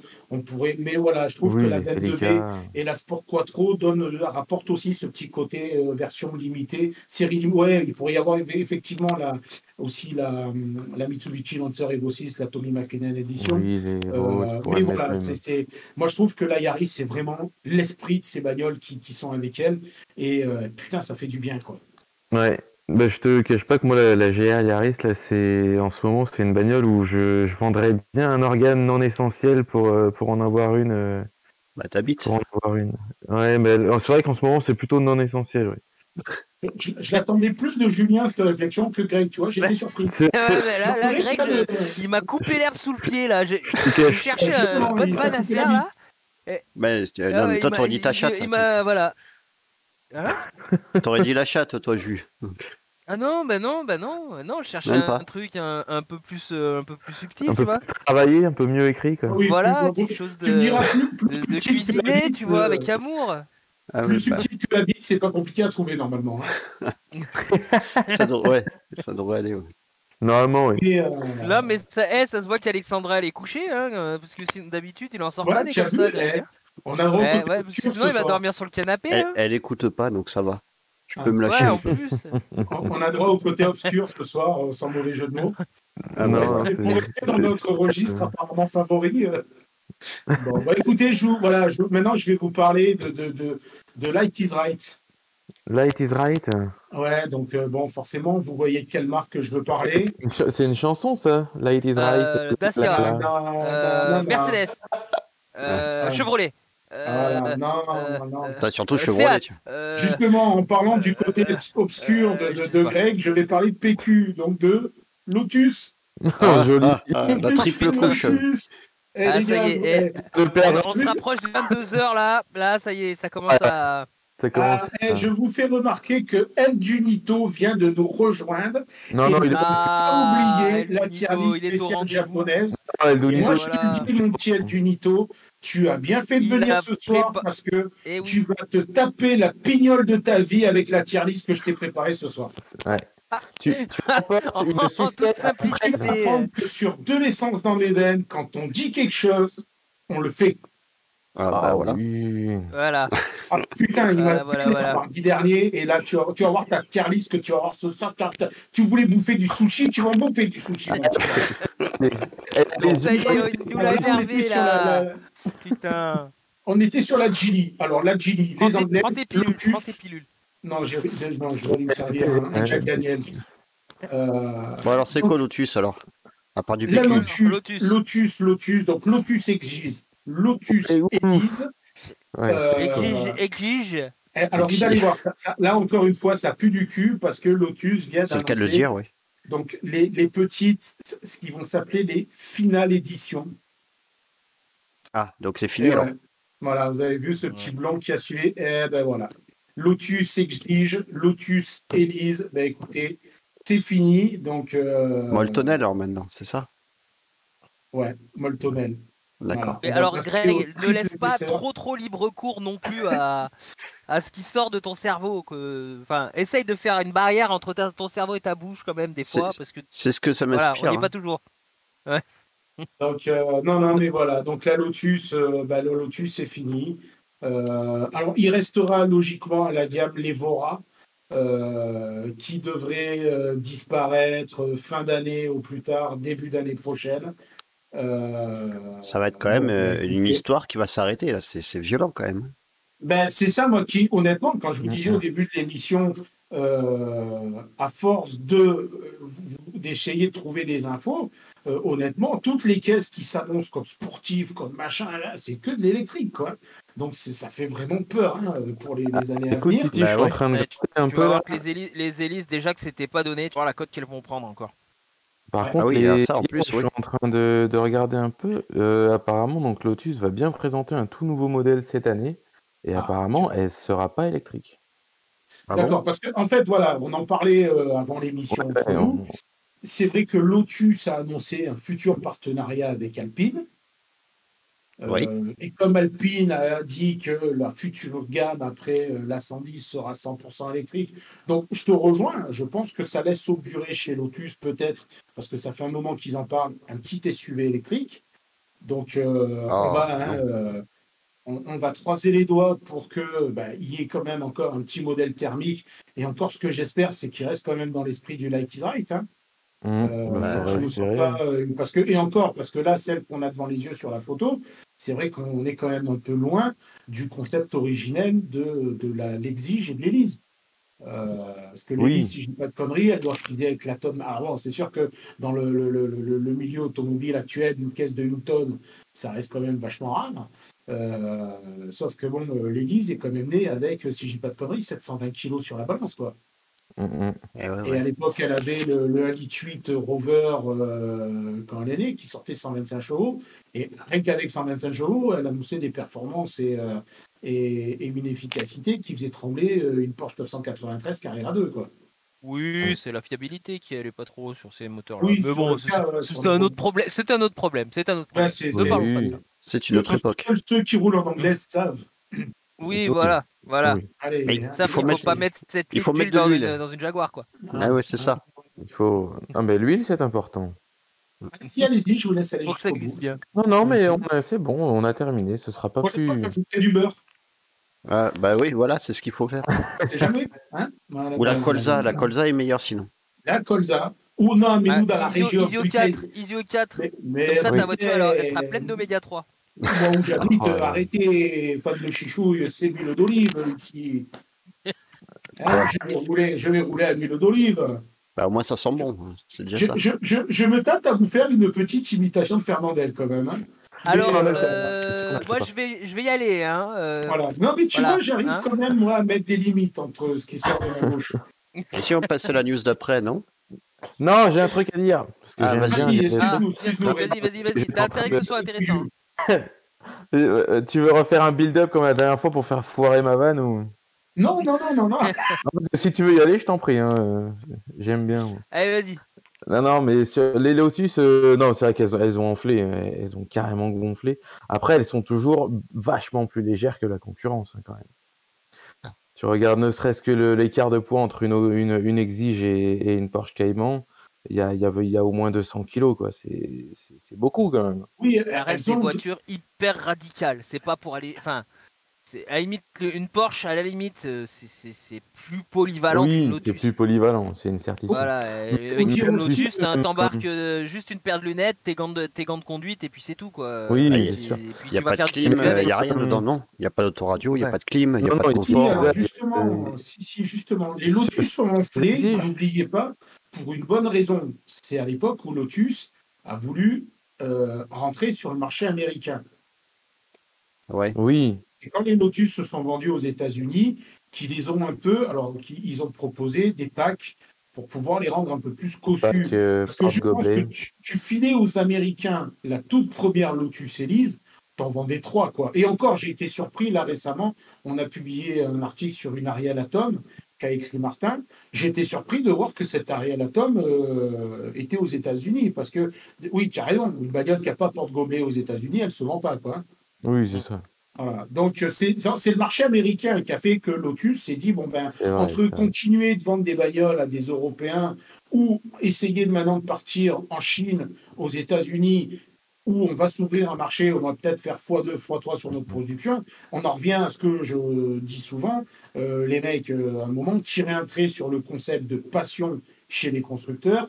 Euh, les constructeurs, pour vivre, ils ont surtout besoin de pognon. Bah, quoi, ils ont besoin de vendre. ouais, Donc, ils ont besoin de vendre des bagnoles. hein. Donc, si aujourd'hui le marché qui tire la charrette, c'est les Américains et euh, la Chine, euh, faut pas s'attendre à euh, ne pas voir des Lotus blindés d'options, blindés d'équipements. Mhm. Euh, ils vont pas faire 50 gammes pour les continents différents. À un moment, les mecs, ce qu'ils voient, c'est de rentabiliser leurs investissements. Donc, mais oui, malgré tout ça, Lotus a quand même ré- toujours réussi à rester cohérent par rapport au- à l'esprit de la marque. C'est ça, il reste Après- bien plus léger que, que ce qui peut se faire à côté. Je rejoins Martin, c'est vrai qu'effectivement, euh, dès qu'on commence à balancer des batteries sur des bagnoles, Eh euh, si on peut avoir plus le même poids. qui tienne la route, bon, ben forcément, ça coûte 500-600 kilos de lest quoi, hein, qui vont se retrouver là-dessus. Ouais, ouais. Donc la Après, tu Lotus sais, même, Mighty la, Ride, euh, hum, même, la, même la, la grosse électrique là, qui arrive, la, la Evija, il me semble. Evija, Evija. La Ouais. Evija. Il me semble que ça se prononce Evija, il me semble. Euh, je crois qu'ils ont, je crois qu'elle pèsera autour de 1 tonne 650, un truc comme ça. Alors c'est un, c'est un veau pour une Lotus, mais dans l'absolu, pour une supercar électrique, c'est, c'est, c'est, c'est quasiment 500 kilos plus léger que C'est ce qui ça. se fait à côté. C'est colossal quand même. même dans le milieu du poids, ça restera les plus légers. Quoi. Ouais. On va dire que- que 1500 kilos, c'est lourd, sauf Euh, qu'en face, elle aura des caisses de 2 tonnes. Ouais, c'est ça. Bah, Tout Oui, à l'heure, c'est je, ça, ouais. je, je- je grattais un peu la, euh, le- la Taycan. La Taycan, elle pèse 2 tonnes 3. Putain, c'est un veau. quoi. Ouais. Ouais. 2 Pas tonnes d'un 3, c'est colossal, quoi. Mais c'est carrément ça. Pour une berline, quoi. Enfin, une grande berline, ça fait, c'est, c'est assez grand. Mais 2 tonnes 3, quoi. Et je pense que sur les 2 tonnes 3, tu dois avoir euh, 700 kilos de batterie, quoi. C'est pas du Mhm. Rolls. Ouais, c'est ça, c'est ça. Parce que le, je pense qu'en plus de ça, il doit faire des efforts pour, euh, au niveau, pour, en, y foutant des, des éléments d'aluminium, des caisses carbone, etc., pour essayer encore de limiter, parce que, à mon avis, ça serait Mhm. pire. hein. Après, les Ah batteries oui, vont, bah, vont s'alléger aussi. hein. Dans le temps, ça va se miniaturiser, ça va s'alléger. hein. Oui, Mais bon. probablement. Il faudra du temps quand même. hein. Donc, Ah bah oui, euh, puis il va falloir du temps, euh, comme, comme tout, hein, regarde, euh, regarde au final, euh, quand est-ce que qu'est vraiment apparu euh, euh, la Sural avec les turbos, euh, c'est quasiment que maintenant qu'on maîtrise la technologie à fond, quoi. On a complètement poussé euh, ce, qu'on pouvait faire avec, donc ça prend Oui. du temps, euh, mine de rien. Les batteries, c'est pareil, parce que les batteries, euh, je pense que là, on se fait un petit peu submerger, mais si tu prends un petit peu de recul, ça fait quoi? Ça fait, ça fait même pas 10 ans qu'on pousse vraiment dans l'électrique. Et on a, on a déjà des Euh, le qui sont énormes. quoi. Le premier à vraiment avoir misé là-dessus, c'est Tesla avec la, la Tesla Mhm. Roadster. Ouais. Ouais. C'est lui qui a vraiment lancé un bien. peu la mode et après qui a balancé avec ses caisses. C'est moi, oui, Tesla. Et non, on et même ah non, avant, avant Tesla, il y a, attends, il y a eu un avant Tesla. Avant, c'était euh, Ah, ah, Fisker. euh, Fisker. C'était Henry Fisker, ouais. Qui d'ailleurs. Henry Fisker a travaillé chez Tesla. Au Oui. tout début, c'est, il a fait partie des ingénieurs qui ont commencé à développer la Tesla, la toute première Tesla.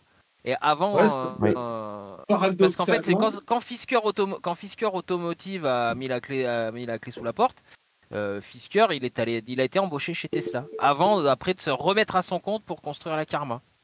Ah ouais. paradoxalement, Voilà. C'était pour la petite histoire. la première Fisker électrique qu'il a sortie n'a pas marché. Moi, je me rappelle, j'en ai croisé une hein, il y a pas mal d'années. Euh, J'étais dans le 06, La Karma là, du, côté de, ouais, du côté de Menton. Ouais, J'avais vu passer pas- ce, ce- ce vaisseau spatial euh, qui était assez, euh, assez, Mais- assez bizarre. Et euh, la, la, la, la, Karma, c'était la, vraie- la vraie première euh, voiture électrique de série qui a. Enfin, c'était la- l'avant Tesla en fait. Finalement. Ouais, ça, Après. Tesla, Tesla avait plus d'oseille, a mis plus d'oseille sur la table et, et, et Ouais, fait ça. un meilleur développement. Mais euh, bah, dans le fond, la Karma, c'est pas une mauvaise bagnole. hein. Elle fonctionne aussi. euh.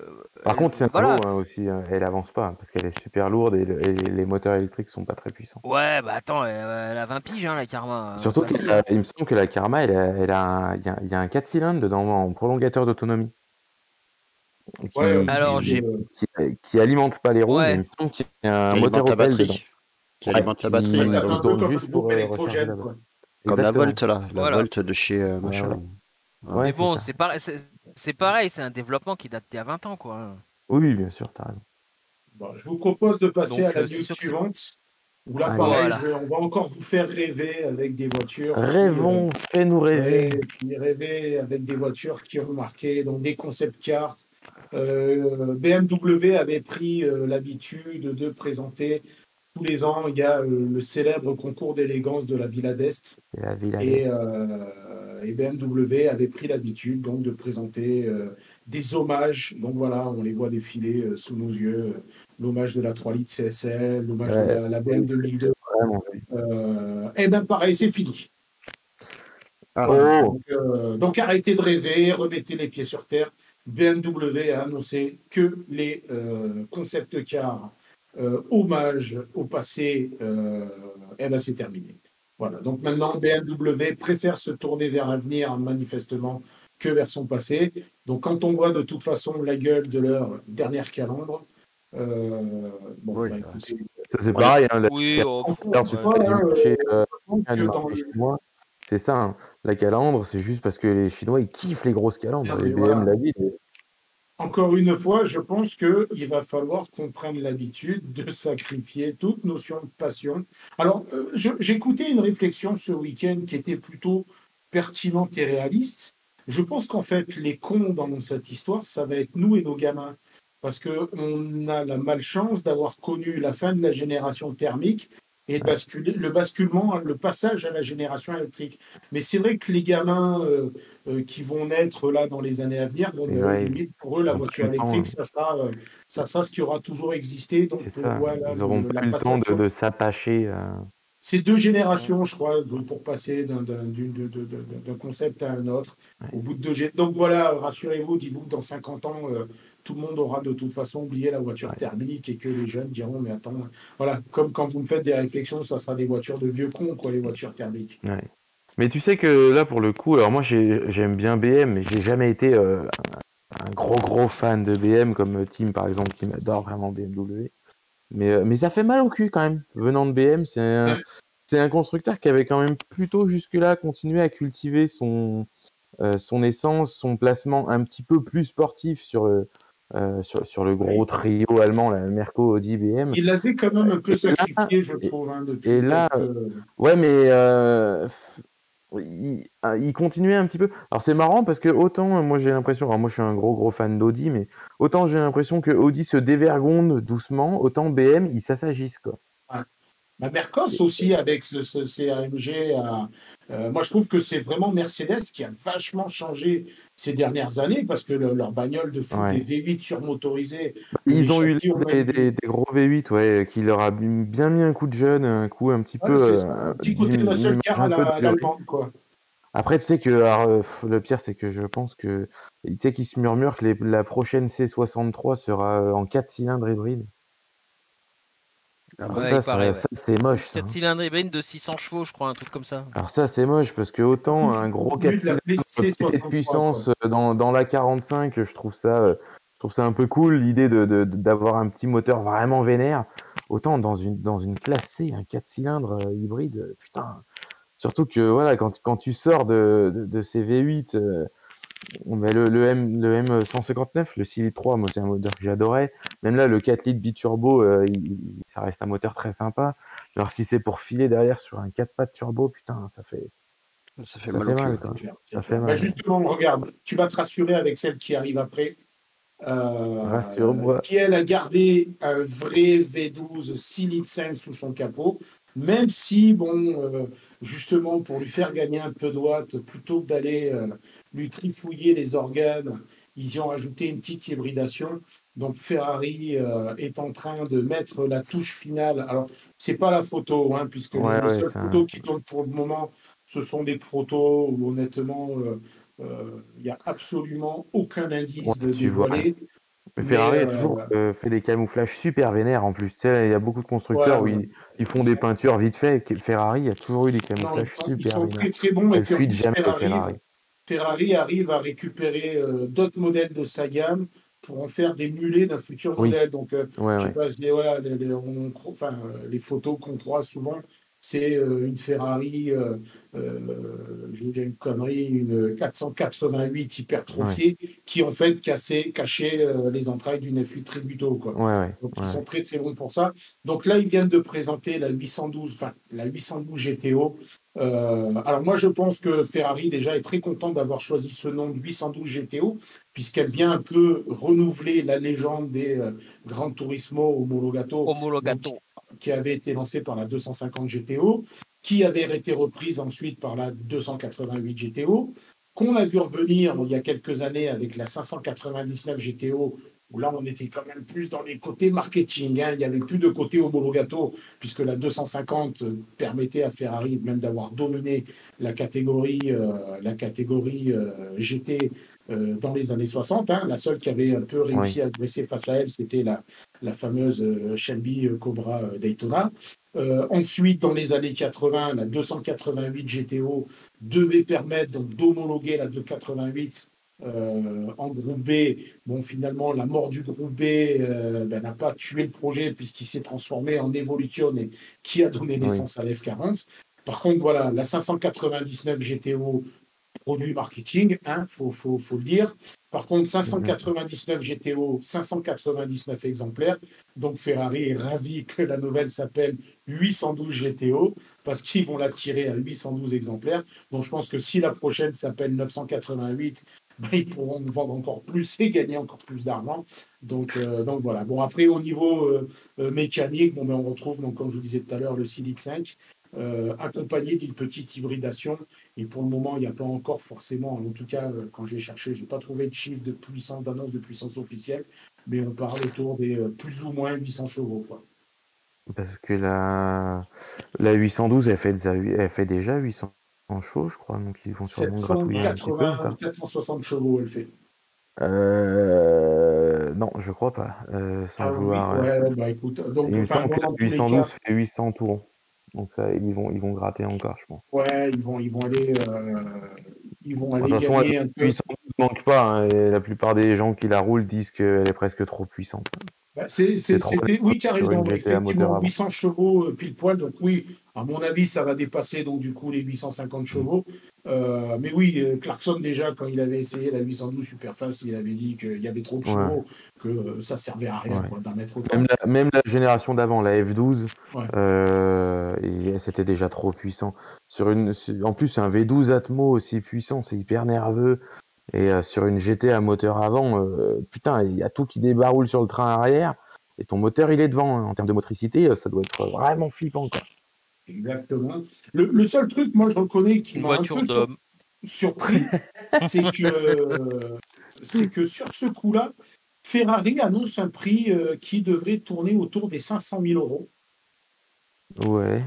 Alors, je, je, moi, je trouve quand même que pour une voiture en série limitée, euh, bon, avec quand même le prestige de Ferrari qui va dépasser donc les, les 800 chevaux, ben, je trouve que finalement, dans une période où, regardez, euh, Lamborghini, euh, on te prend une Aventador, on te rajoute deux, trois trucs, là, euh, presque tirés de la, de la, du catalogue tuning de Noroto, on y met un petit coup de boost pour y faire gagner 40 chevaux, et de suite, on la fait passer dans le monde des prix à 7 chiffres.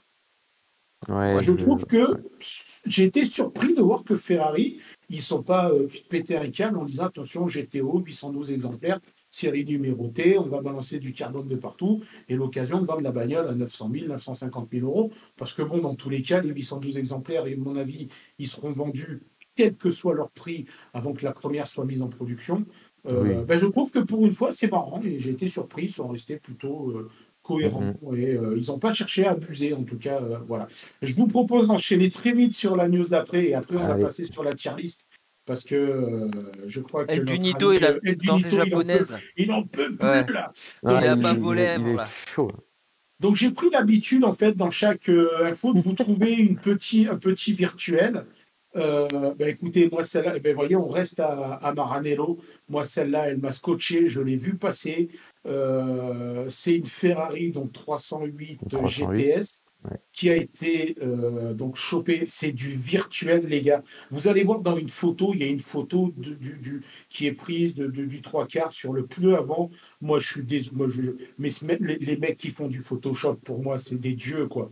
Euh, on a l'impression que c'est du. Ah, là- du réel, là, on est plus sur du Photoshop, là, on est sur de la conception 3D. euh, c'est c'est un autre niveau que le Photoshop, là. Ouais, c'est bluffant et je trouve que ce petit côté un peu bad boy, euh, NASCAR qui est donné à la 308 GTS, Ah, moi j'adore, Ah, j'adore. Ah, c'est méchant. Alors d'habitude, je déteste les pare quand tu quand tu dégages les pare-chocs comme ça extérieur en porte-à-faux, mais alors sur celle-là, ça rend vraiment bien. Ça, ça, Ouais. ça, ça envoie du pâté hein, avec ce, Ouais, ce- ouais. ces, ces- ces pneus, justement, la mode des pneus en 24 pouces. Là, le mec, il a osé rester sur du, euh, du 16 ou du 17 pouces avec du flanc, euh, du flanc euh, haut. Euh, J'allais dire du flanc à la vanille, je, je confonds avec le Du dessert. que j'ai flan, du flambi. du flambi. Mais je trouve que voilà, ça lui va super bien. Et euh, bah, écoutez, j'essaierai de vous trouver un truc euh, aussi bien pour, pour l'émission de mardi prochain. Oh, Bah, écoutez, je crois que c'est l'heure, hein on y est? allez, On y est? balance. C'est l'heure de, la messe? Ah, C'est l'heure de la prière, c'est l'heure, Amen. c'est l'heure de la communion euh, entre les esprits et le divin. Donc c'est l'heure du classement, le classement qu'aujourd'hui tout le monde, en tout cas tous les médias automobiles nous envient. Euh, Ah oui. Le classement DLE, DMV. Et donc chose promise, chose dure. hein, comme Chose dure. dit chez. Promis. Euh, je vous ai fait une petite sélection euh, spéciale japonaise et vous constaterez que cette sélection, elle n'est pas piquée des verres. Putain, de vieux. Ça y est, alerte vieux là. ça y oh putain, alerte, alerte Oui. boomer là. Boomer, boomer. Donc écoutez, moi je vous propose, ben, comme d'habitude, qu'on commence. j'aime bien à chaque fois qu'il sort une batte, tu tu- le sens, sa voix elle se modifie, tu sais. Ouais, On ouais. dirait Jacques Martin, tu sais, quand, Ouais. quand à l'école des, fans, tu sais. Alors, une- petit, hein Il y a quand même un mix de, de niaiserie et de fierté très particulier. hein. Ouais, parce qu'il sait qu'il va se faire allumer derrière, mais il la, il la sort quand même, quoi. Tu es venu avec ton papa et ta maman? Hein? Le papa, c'est le monsieur avec la petite rouge qui Ah fait putain, tu fais flipper là. Ah ouais. On va commencer par celle qui est à droite, elle est rouge. Mais je sais que vous aimez Allez, le on voit ton rouge. classement là, tu nous emmerdes. Quelle belle Ouais. couleur, le rouge. Allez, la Toyota. Alors, je ne sais pas comment on doit l'appeler, en fait. On l'appelle La merde. MR ou on l'appelle Merde. MR2. Eh Eh merde. ben, La malheureusement, merde. c'est Parce MR2. que- hein. Elle est née MR2. Alors, bien entendu, je vous ai préparé des petites news sur la Toyota. Donc, la Toyota MR2. Alors, Euh, pourquoi 80 s'appelle-t-elle MR2 Alors, justement, parce qu'il y a une légende là-dessus. Beaucoup disent c'est euh, c'est par rapport donc euh, au, au- au- au moteur central. Non. Et en fait, alors l'info, je le dis parce que c'est Toyota historique qui le dit. MR2, c'est pour Midship Runabout 2. Euh, Redis-le pour voir. Midship. Oh putain, les gars, vous foutez de ma gueule à chaque fois. Et moi, je me fais niquer comme un vieux con. Tu sais quoi, je vais te le mettre dans les commentaires parce que tu n'es pas en face de moi. Je ne peux pas te le mettre ailleurs. Arrêté avant le. Parce que Midship, bon, passe. Mais alors, j'en veux. Runabout. Runabout. Runabout.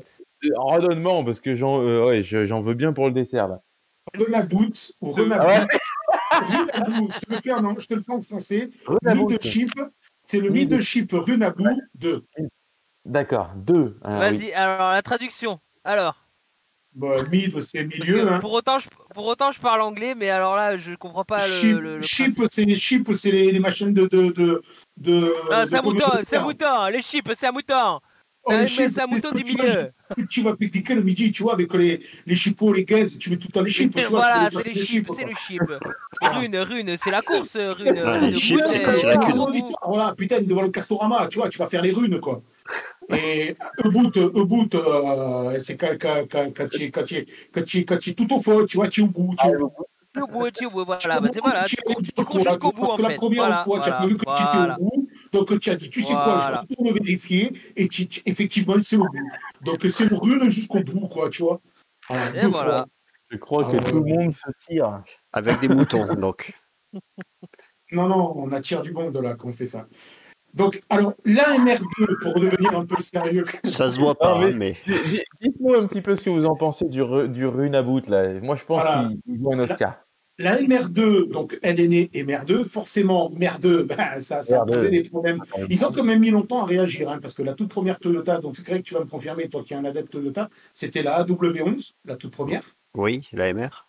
La M- Non, euh, voilà. Donc, et ensuite, donc, ils l'ont rebaptisé, ils l'ont appelé MR GT I16. Oui. Voilà, GTI donc- 16, ouais, c'est vrai. Voilà, chez les adeptes de Toyota, elle est connue sous le nom de SW20. Sachant qu'en plus de ça, elle est connue chez les adeptes Toyota comme la Rev 1, Rev 2, Rev 3. Donc, il y a- en fait, ce sont les révolutions. Il y a eu la Révolution 1. Donc, elle est née avec le. Donc, elle a toujours eu sous le capot le 3 SGE, qui est le 2 litres 16 atmosphérique qu'on retrouvait sous les capots des Celica, etc. Ouais. Euh, donc, le 3 SGE est né euh, sous le capot de la MR avec 160 chevaux. Et en fait, en fonction des générations, donc la Rev 1, la Rev 2 était montée, si je dis pas de conneries, à 170 chevaux.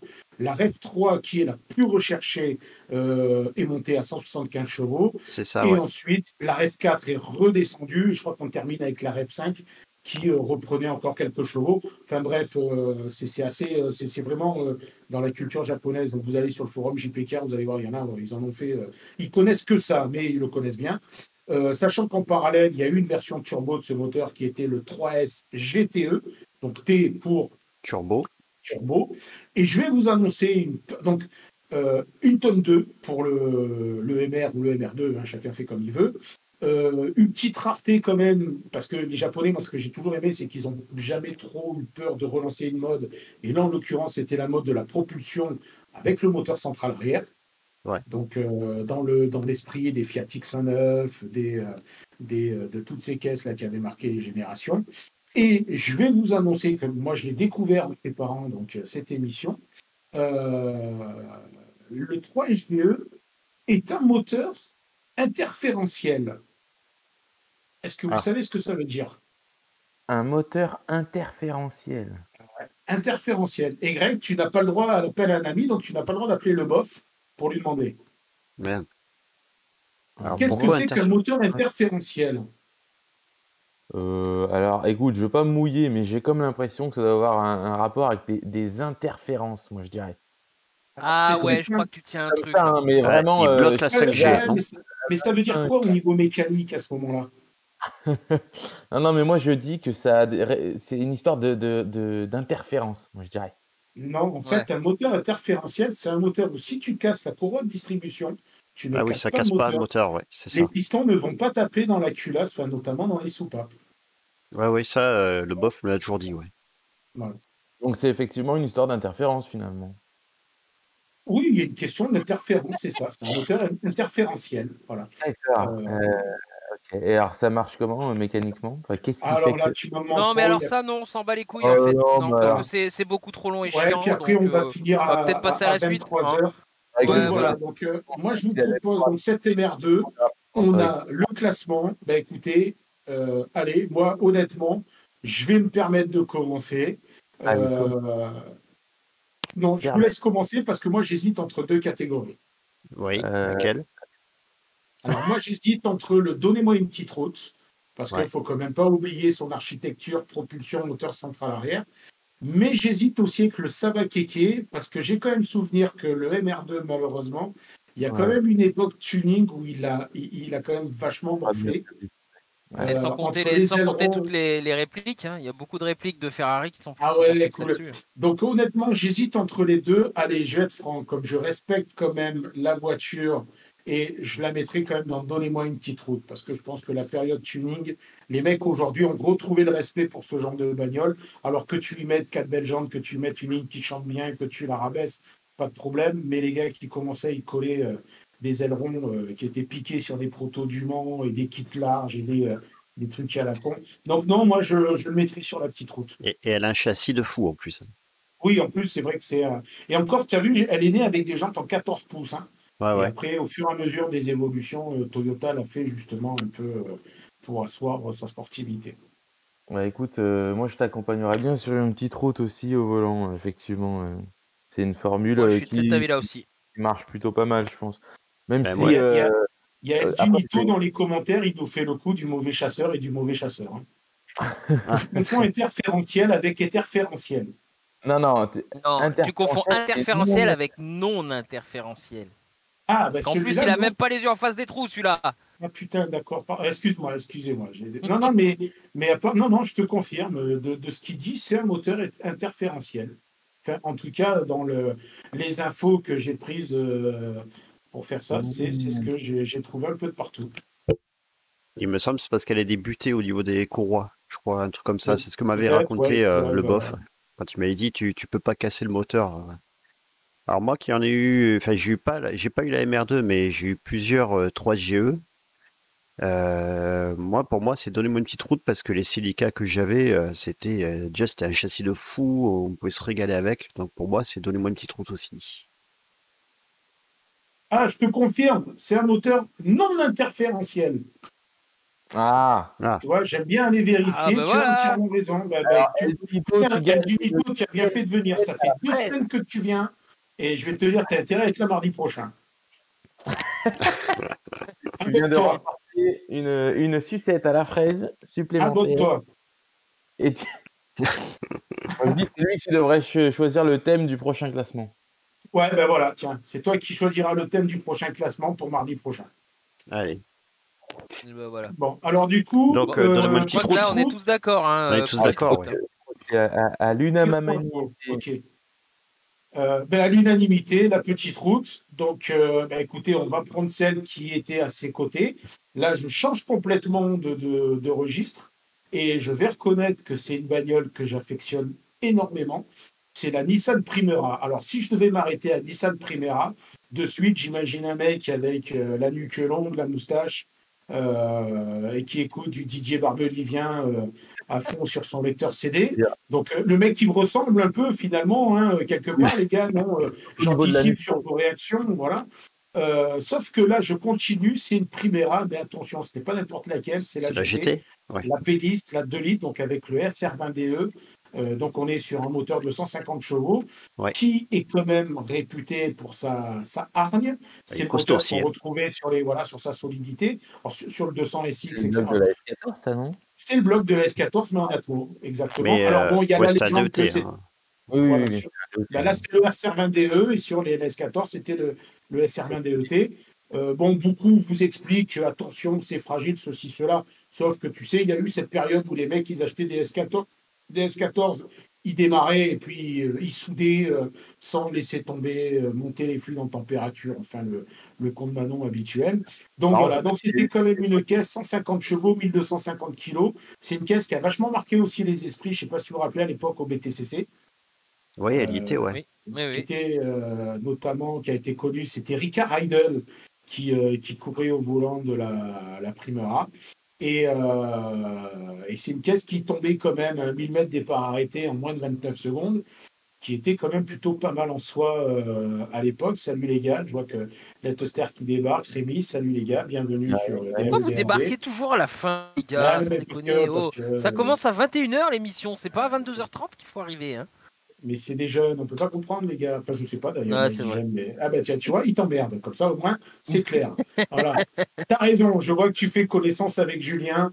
Vous allez bien vous entendre tous les deux. Donc, euh, Non, pourquoi Donc- petit con Grand con, s'il te plaît? Monsieur grand con. donc euh, du coup, ben, je sais pas. Qu'est-ce que, qu'est-ce que vous en pensez de cette primera de l'IGT Euh, voilà, donc moi j'ai donné talent mon avis, je vous laisse commencer. Euh, Moi, j'ai failli en acheter une. et J'étais même avec toi, Titi, quand on était allé la voir. Je sais pas si tu te rappelles. Ouais, ouais, ouais. Une blanche, je me rappelle. Et alors moi, je dirais Paris-Monaco parce que euh, on l'avait essayé sur une ligne droite, on n'avait pas de virage. Donc je peux pas dire comment elle tourne quand on, on était parti l'essayer, mais je pense que c'est plus une bagnole autoroute, quoi, pour moi. Moi, je dirais Paris-Monaco, mais pas par l'autoroute, tu vois. Ah, bon, après, bon, tu fais ce que tu veux. Hein, si t'as pas de sous Ah, pour c'est autoroute. un mix entre donnez-moi une petite route. euh, Ouais, donnez-moi une petite route, quoi. Pas trop tortueuse, mais, mais une petite route, ouais. Ça reste une berline. Hein. Ouais, c'est ça. Après, 1250 kilos, euh, une berline. Ouais, ouais. Elle est pas simple celle-là à classer. hein. Non, Ouais. elle est pas. Parce que Moi, même je par la- déduction, pour- euh, Moi, pour lever une MILF, mais pas regardante, tu vois. eh ben écoute, j'allais te rejoindre, puis je vois que Martin, moi pareil, pour lever une MILF, Ah là, il y a ex aequo, alors euh, entre Paris-Monaco et lever une MILF. Alors, euh, et le chat, ça dit quoi? Lever une mille. euh, Bruno, Bah, il est sur Paris-Monaco, euh, Martin, il est sur la MILF. Ah, bah, c'est encore ex aequo, alors. ouais. euh, Et Junito, il dit quoi alors? Attelage. Attelage. The Moon, donc Let's Star, il envoie du, directement sur la, sur la Lune. Euh, Junito, ouais, El Junito, il nous la met avec l'attelage. Putain, les gars, il faut, il faut réussir à la départager, celle-là. Euh, Euh, moi, j'ai l'impression qu'entre les MILF et les attelages, ça tire quand même plutôt vers le bas que vers Paris-Monaco. hein. Bah, on va mettre on peut Ouais, lever déjà, une MILF. déjà, on peut éliminer Paris-Monaco, hein, je pense. Je pense Bon, qu'elle va partir sur lever une MILF. elle part sur la MILF. Ouais, elle, Allez. part. Martin, est-ce qu'elle est nettoyable? Est-ce qu'on peut la laver au jet d'eau, celle-là, intérieurement, extérieurement? Parce qu'on s'est rendu compte que c'est un critère euh, important pour vrai des que c'est un critère qui Ouais. ne doit pas être négligé, je dirais. La batterie est pas dans la malle, donc tu peux passer le karcher là. Ah, il y a Let- Let's Star qui nous demande c'est quoi une MILF? Martin, je te propose sur le Euh, chat. tape MILF sur Google. Non, non, Voilà. laisse- Non, non, non, pas. sur, sur YouPorn directement, ça ira plus vite. Ouais, voilà, sur YouPorn, tu, tu sauras. Alors, on va passer après, bah, écoutez, sur celle qui a euh, relié, je- euh, je- le Nico. 1989, euh, l'esprit des petits roadsters anglais, et qui s'est notamment euh, largement inspiré de la Lotus Elan. Euh, la célèbre Mazda MX-5, donc la NA, la toute première, euh, connue euh, sur le marché euh, japonais comme la, la Miata. Euh, alors, elle est née avec un 1,6 litre 115 chevaux.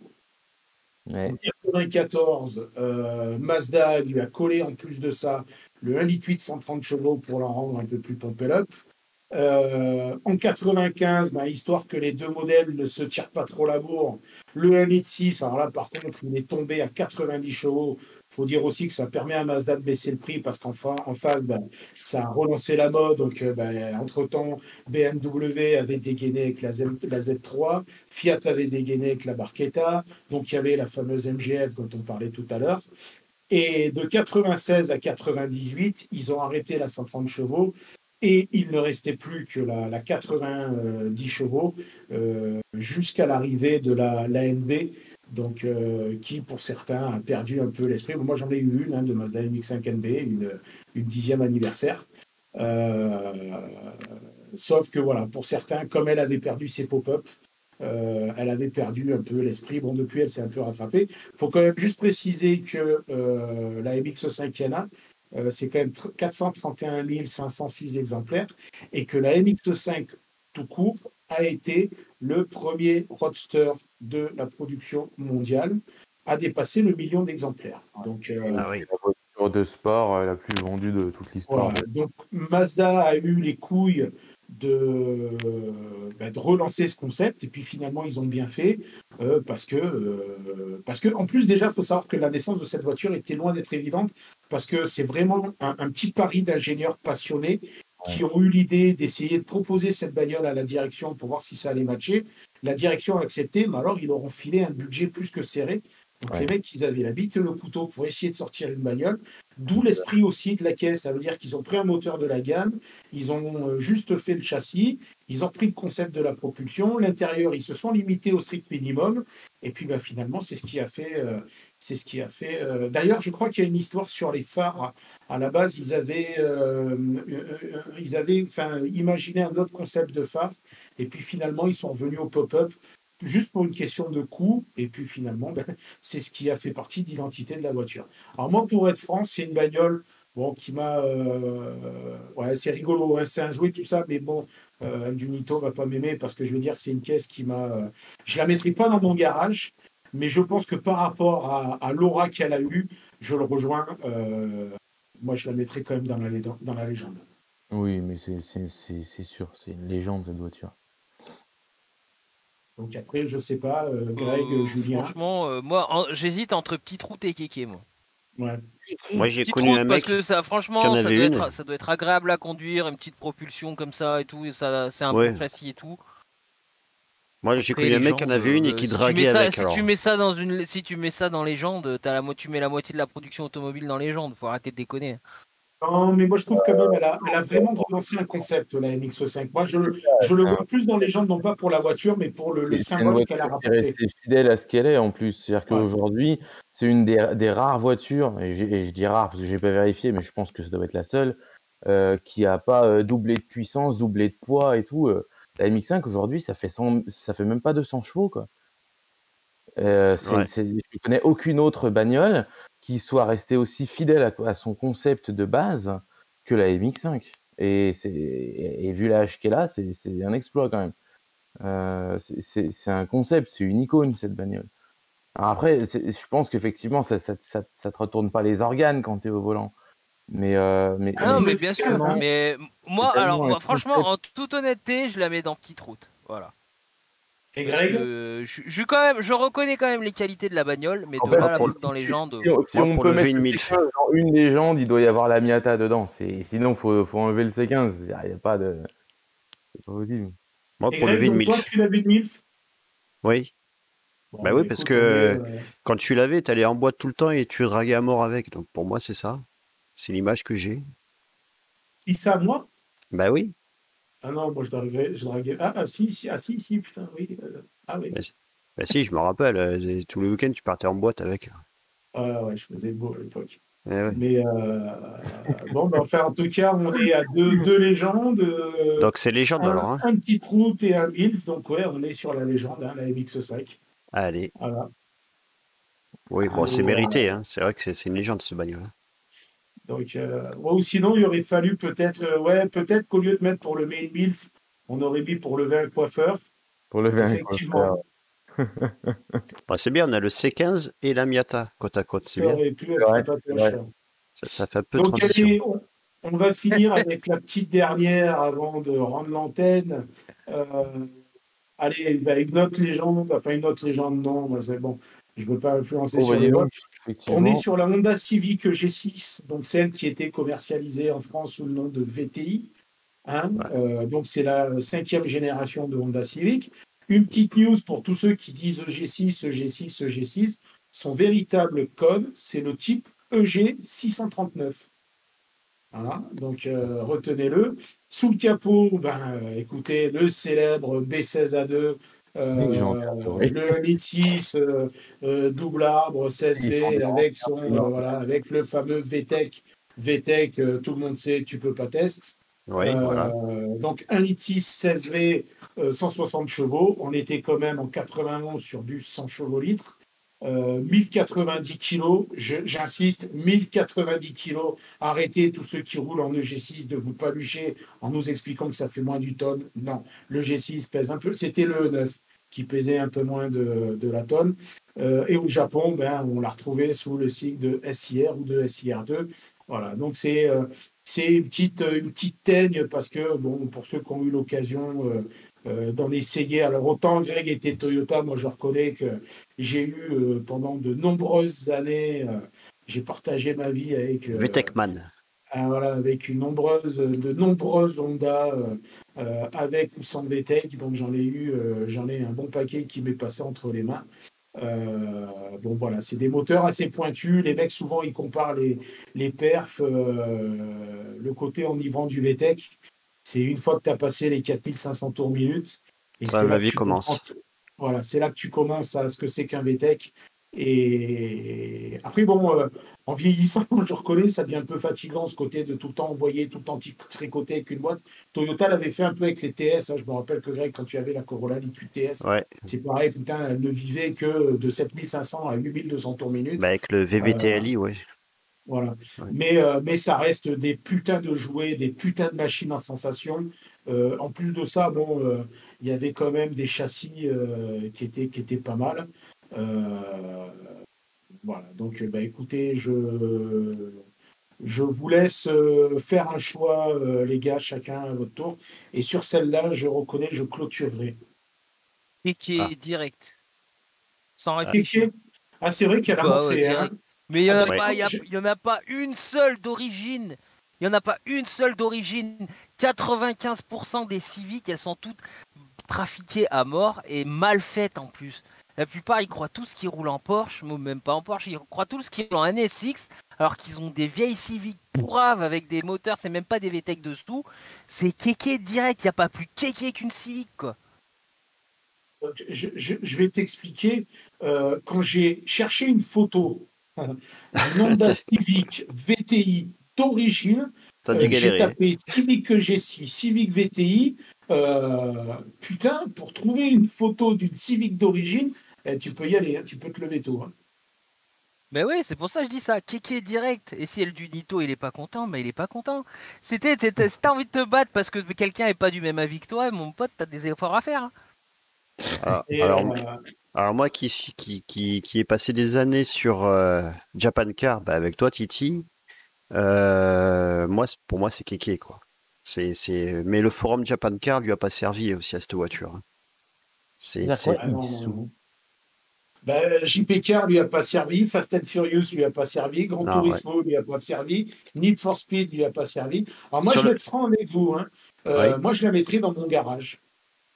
Ben, sur le papier, c'est une super caisse. Si elle n'est pas trop euh, déchirée, euh, on va dire avec du tuning ou quoi, c'est une super caisse. Mais c'est vrai que sur les forums, les mecs en ont fait mais tout et n'importe quoi. Et en plus, en disant que c'est des bagnoles qui coûtaient 15 000 euros parce qu'elle est en plaque 06. Enfin bon, c'est n'importe quoi, quoi. C'est pour moi, ouais, c'est Elle, est touchée du syndrome 205 GTI.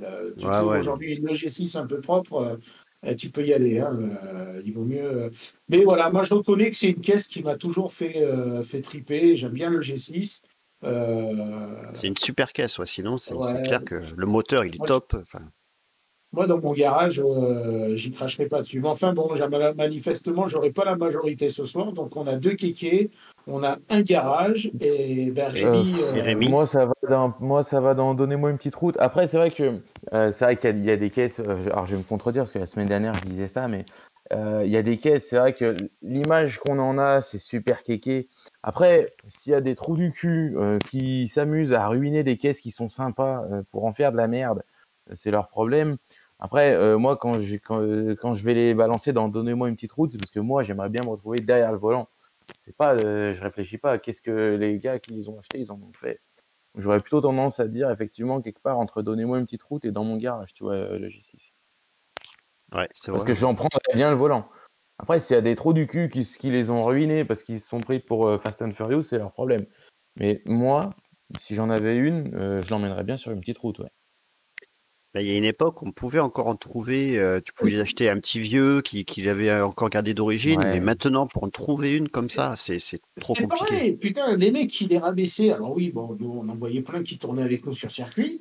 Euh, moi, je me rappelle avoir fait une sortie euh, avec un club de Jap il y a quelques années sur les routes d'Ardèche. les routes d'Ardèche, c'est loin d'être un billard.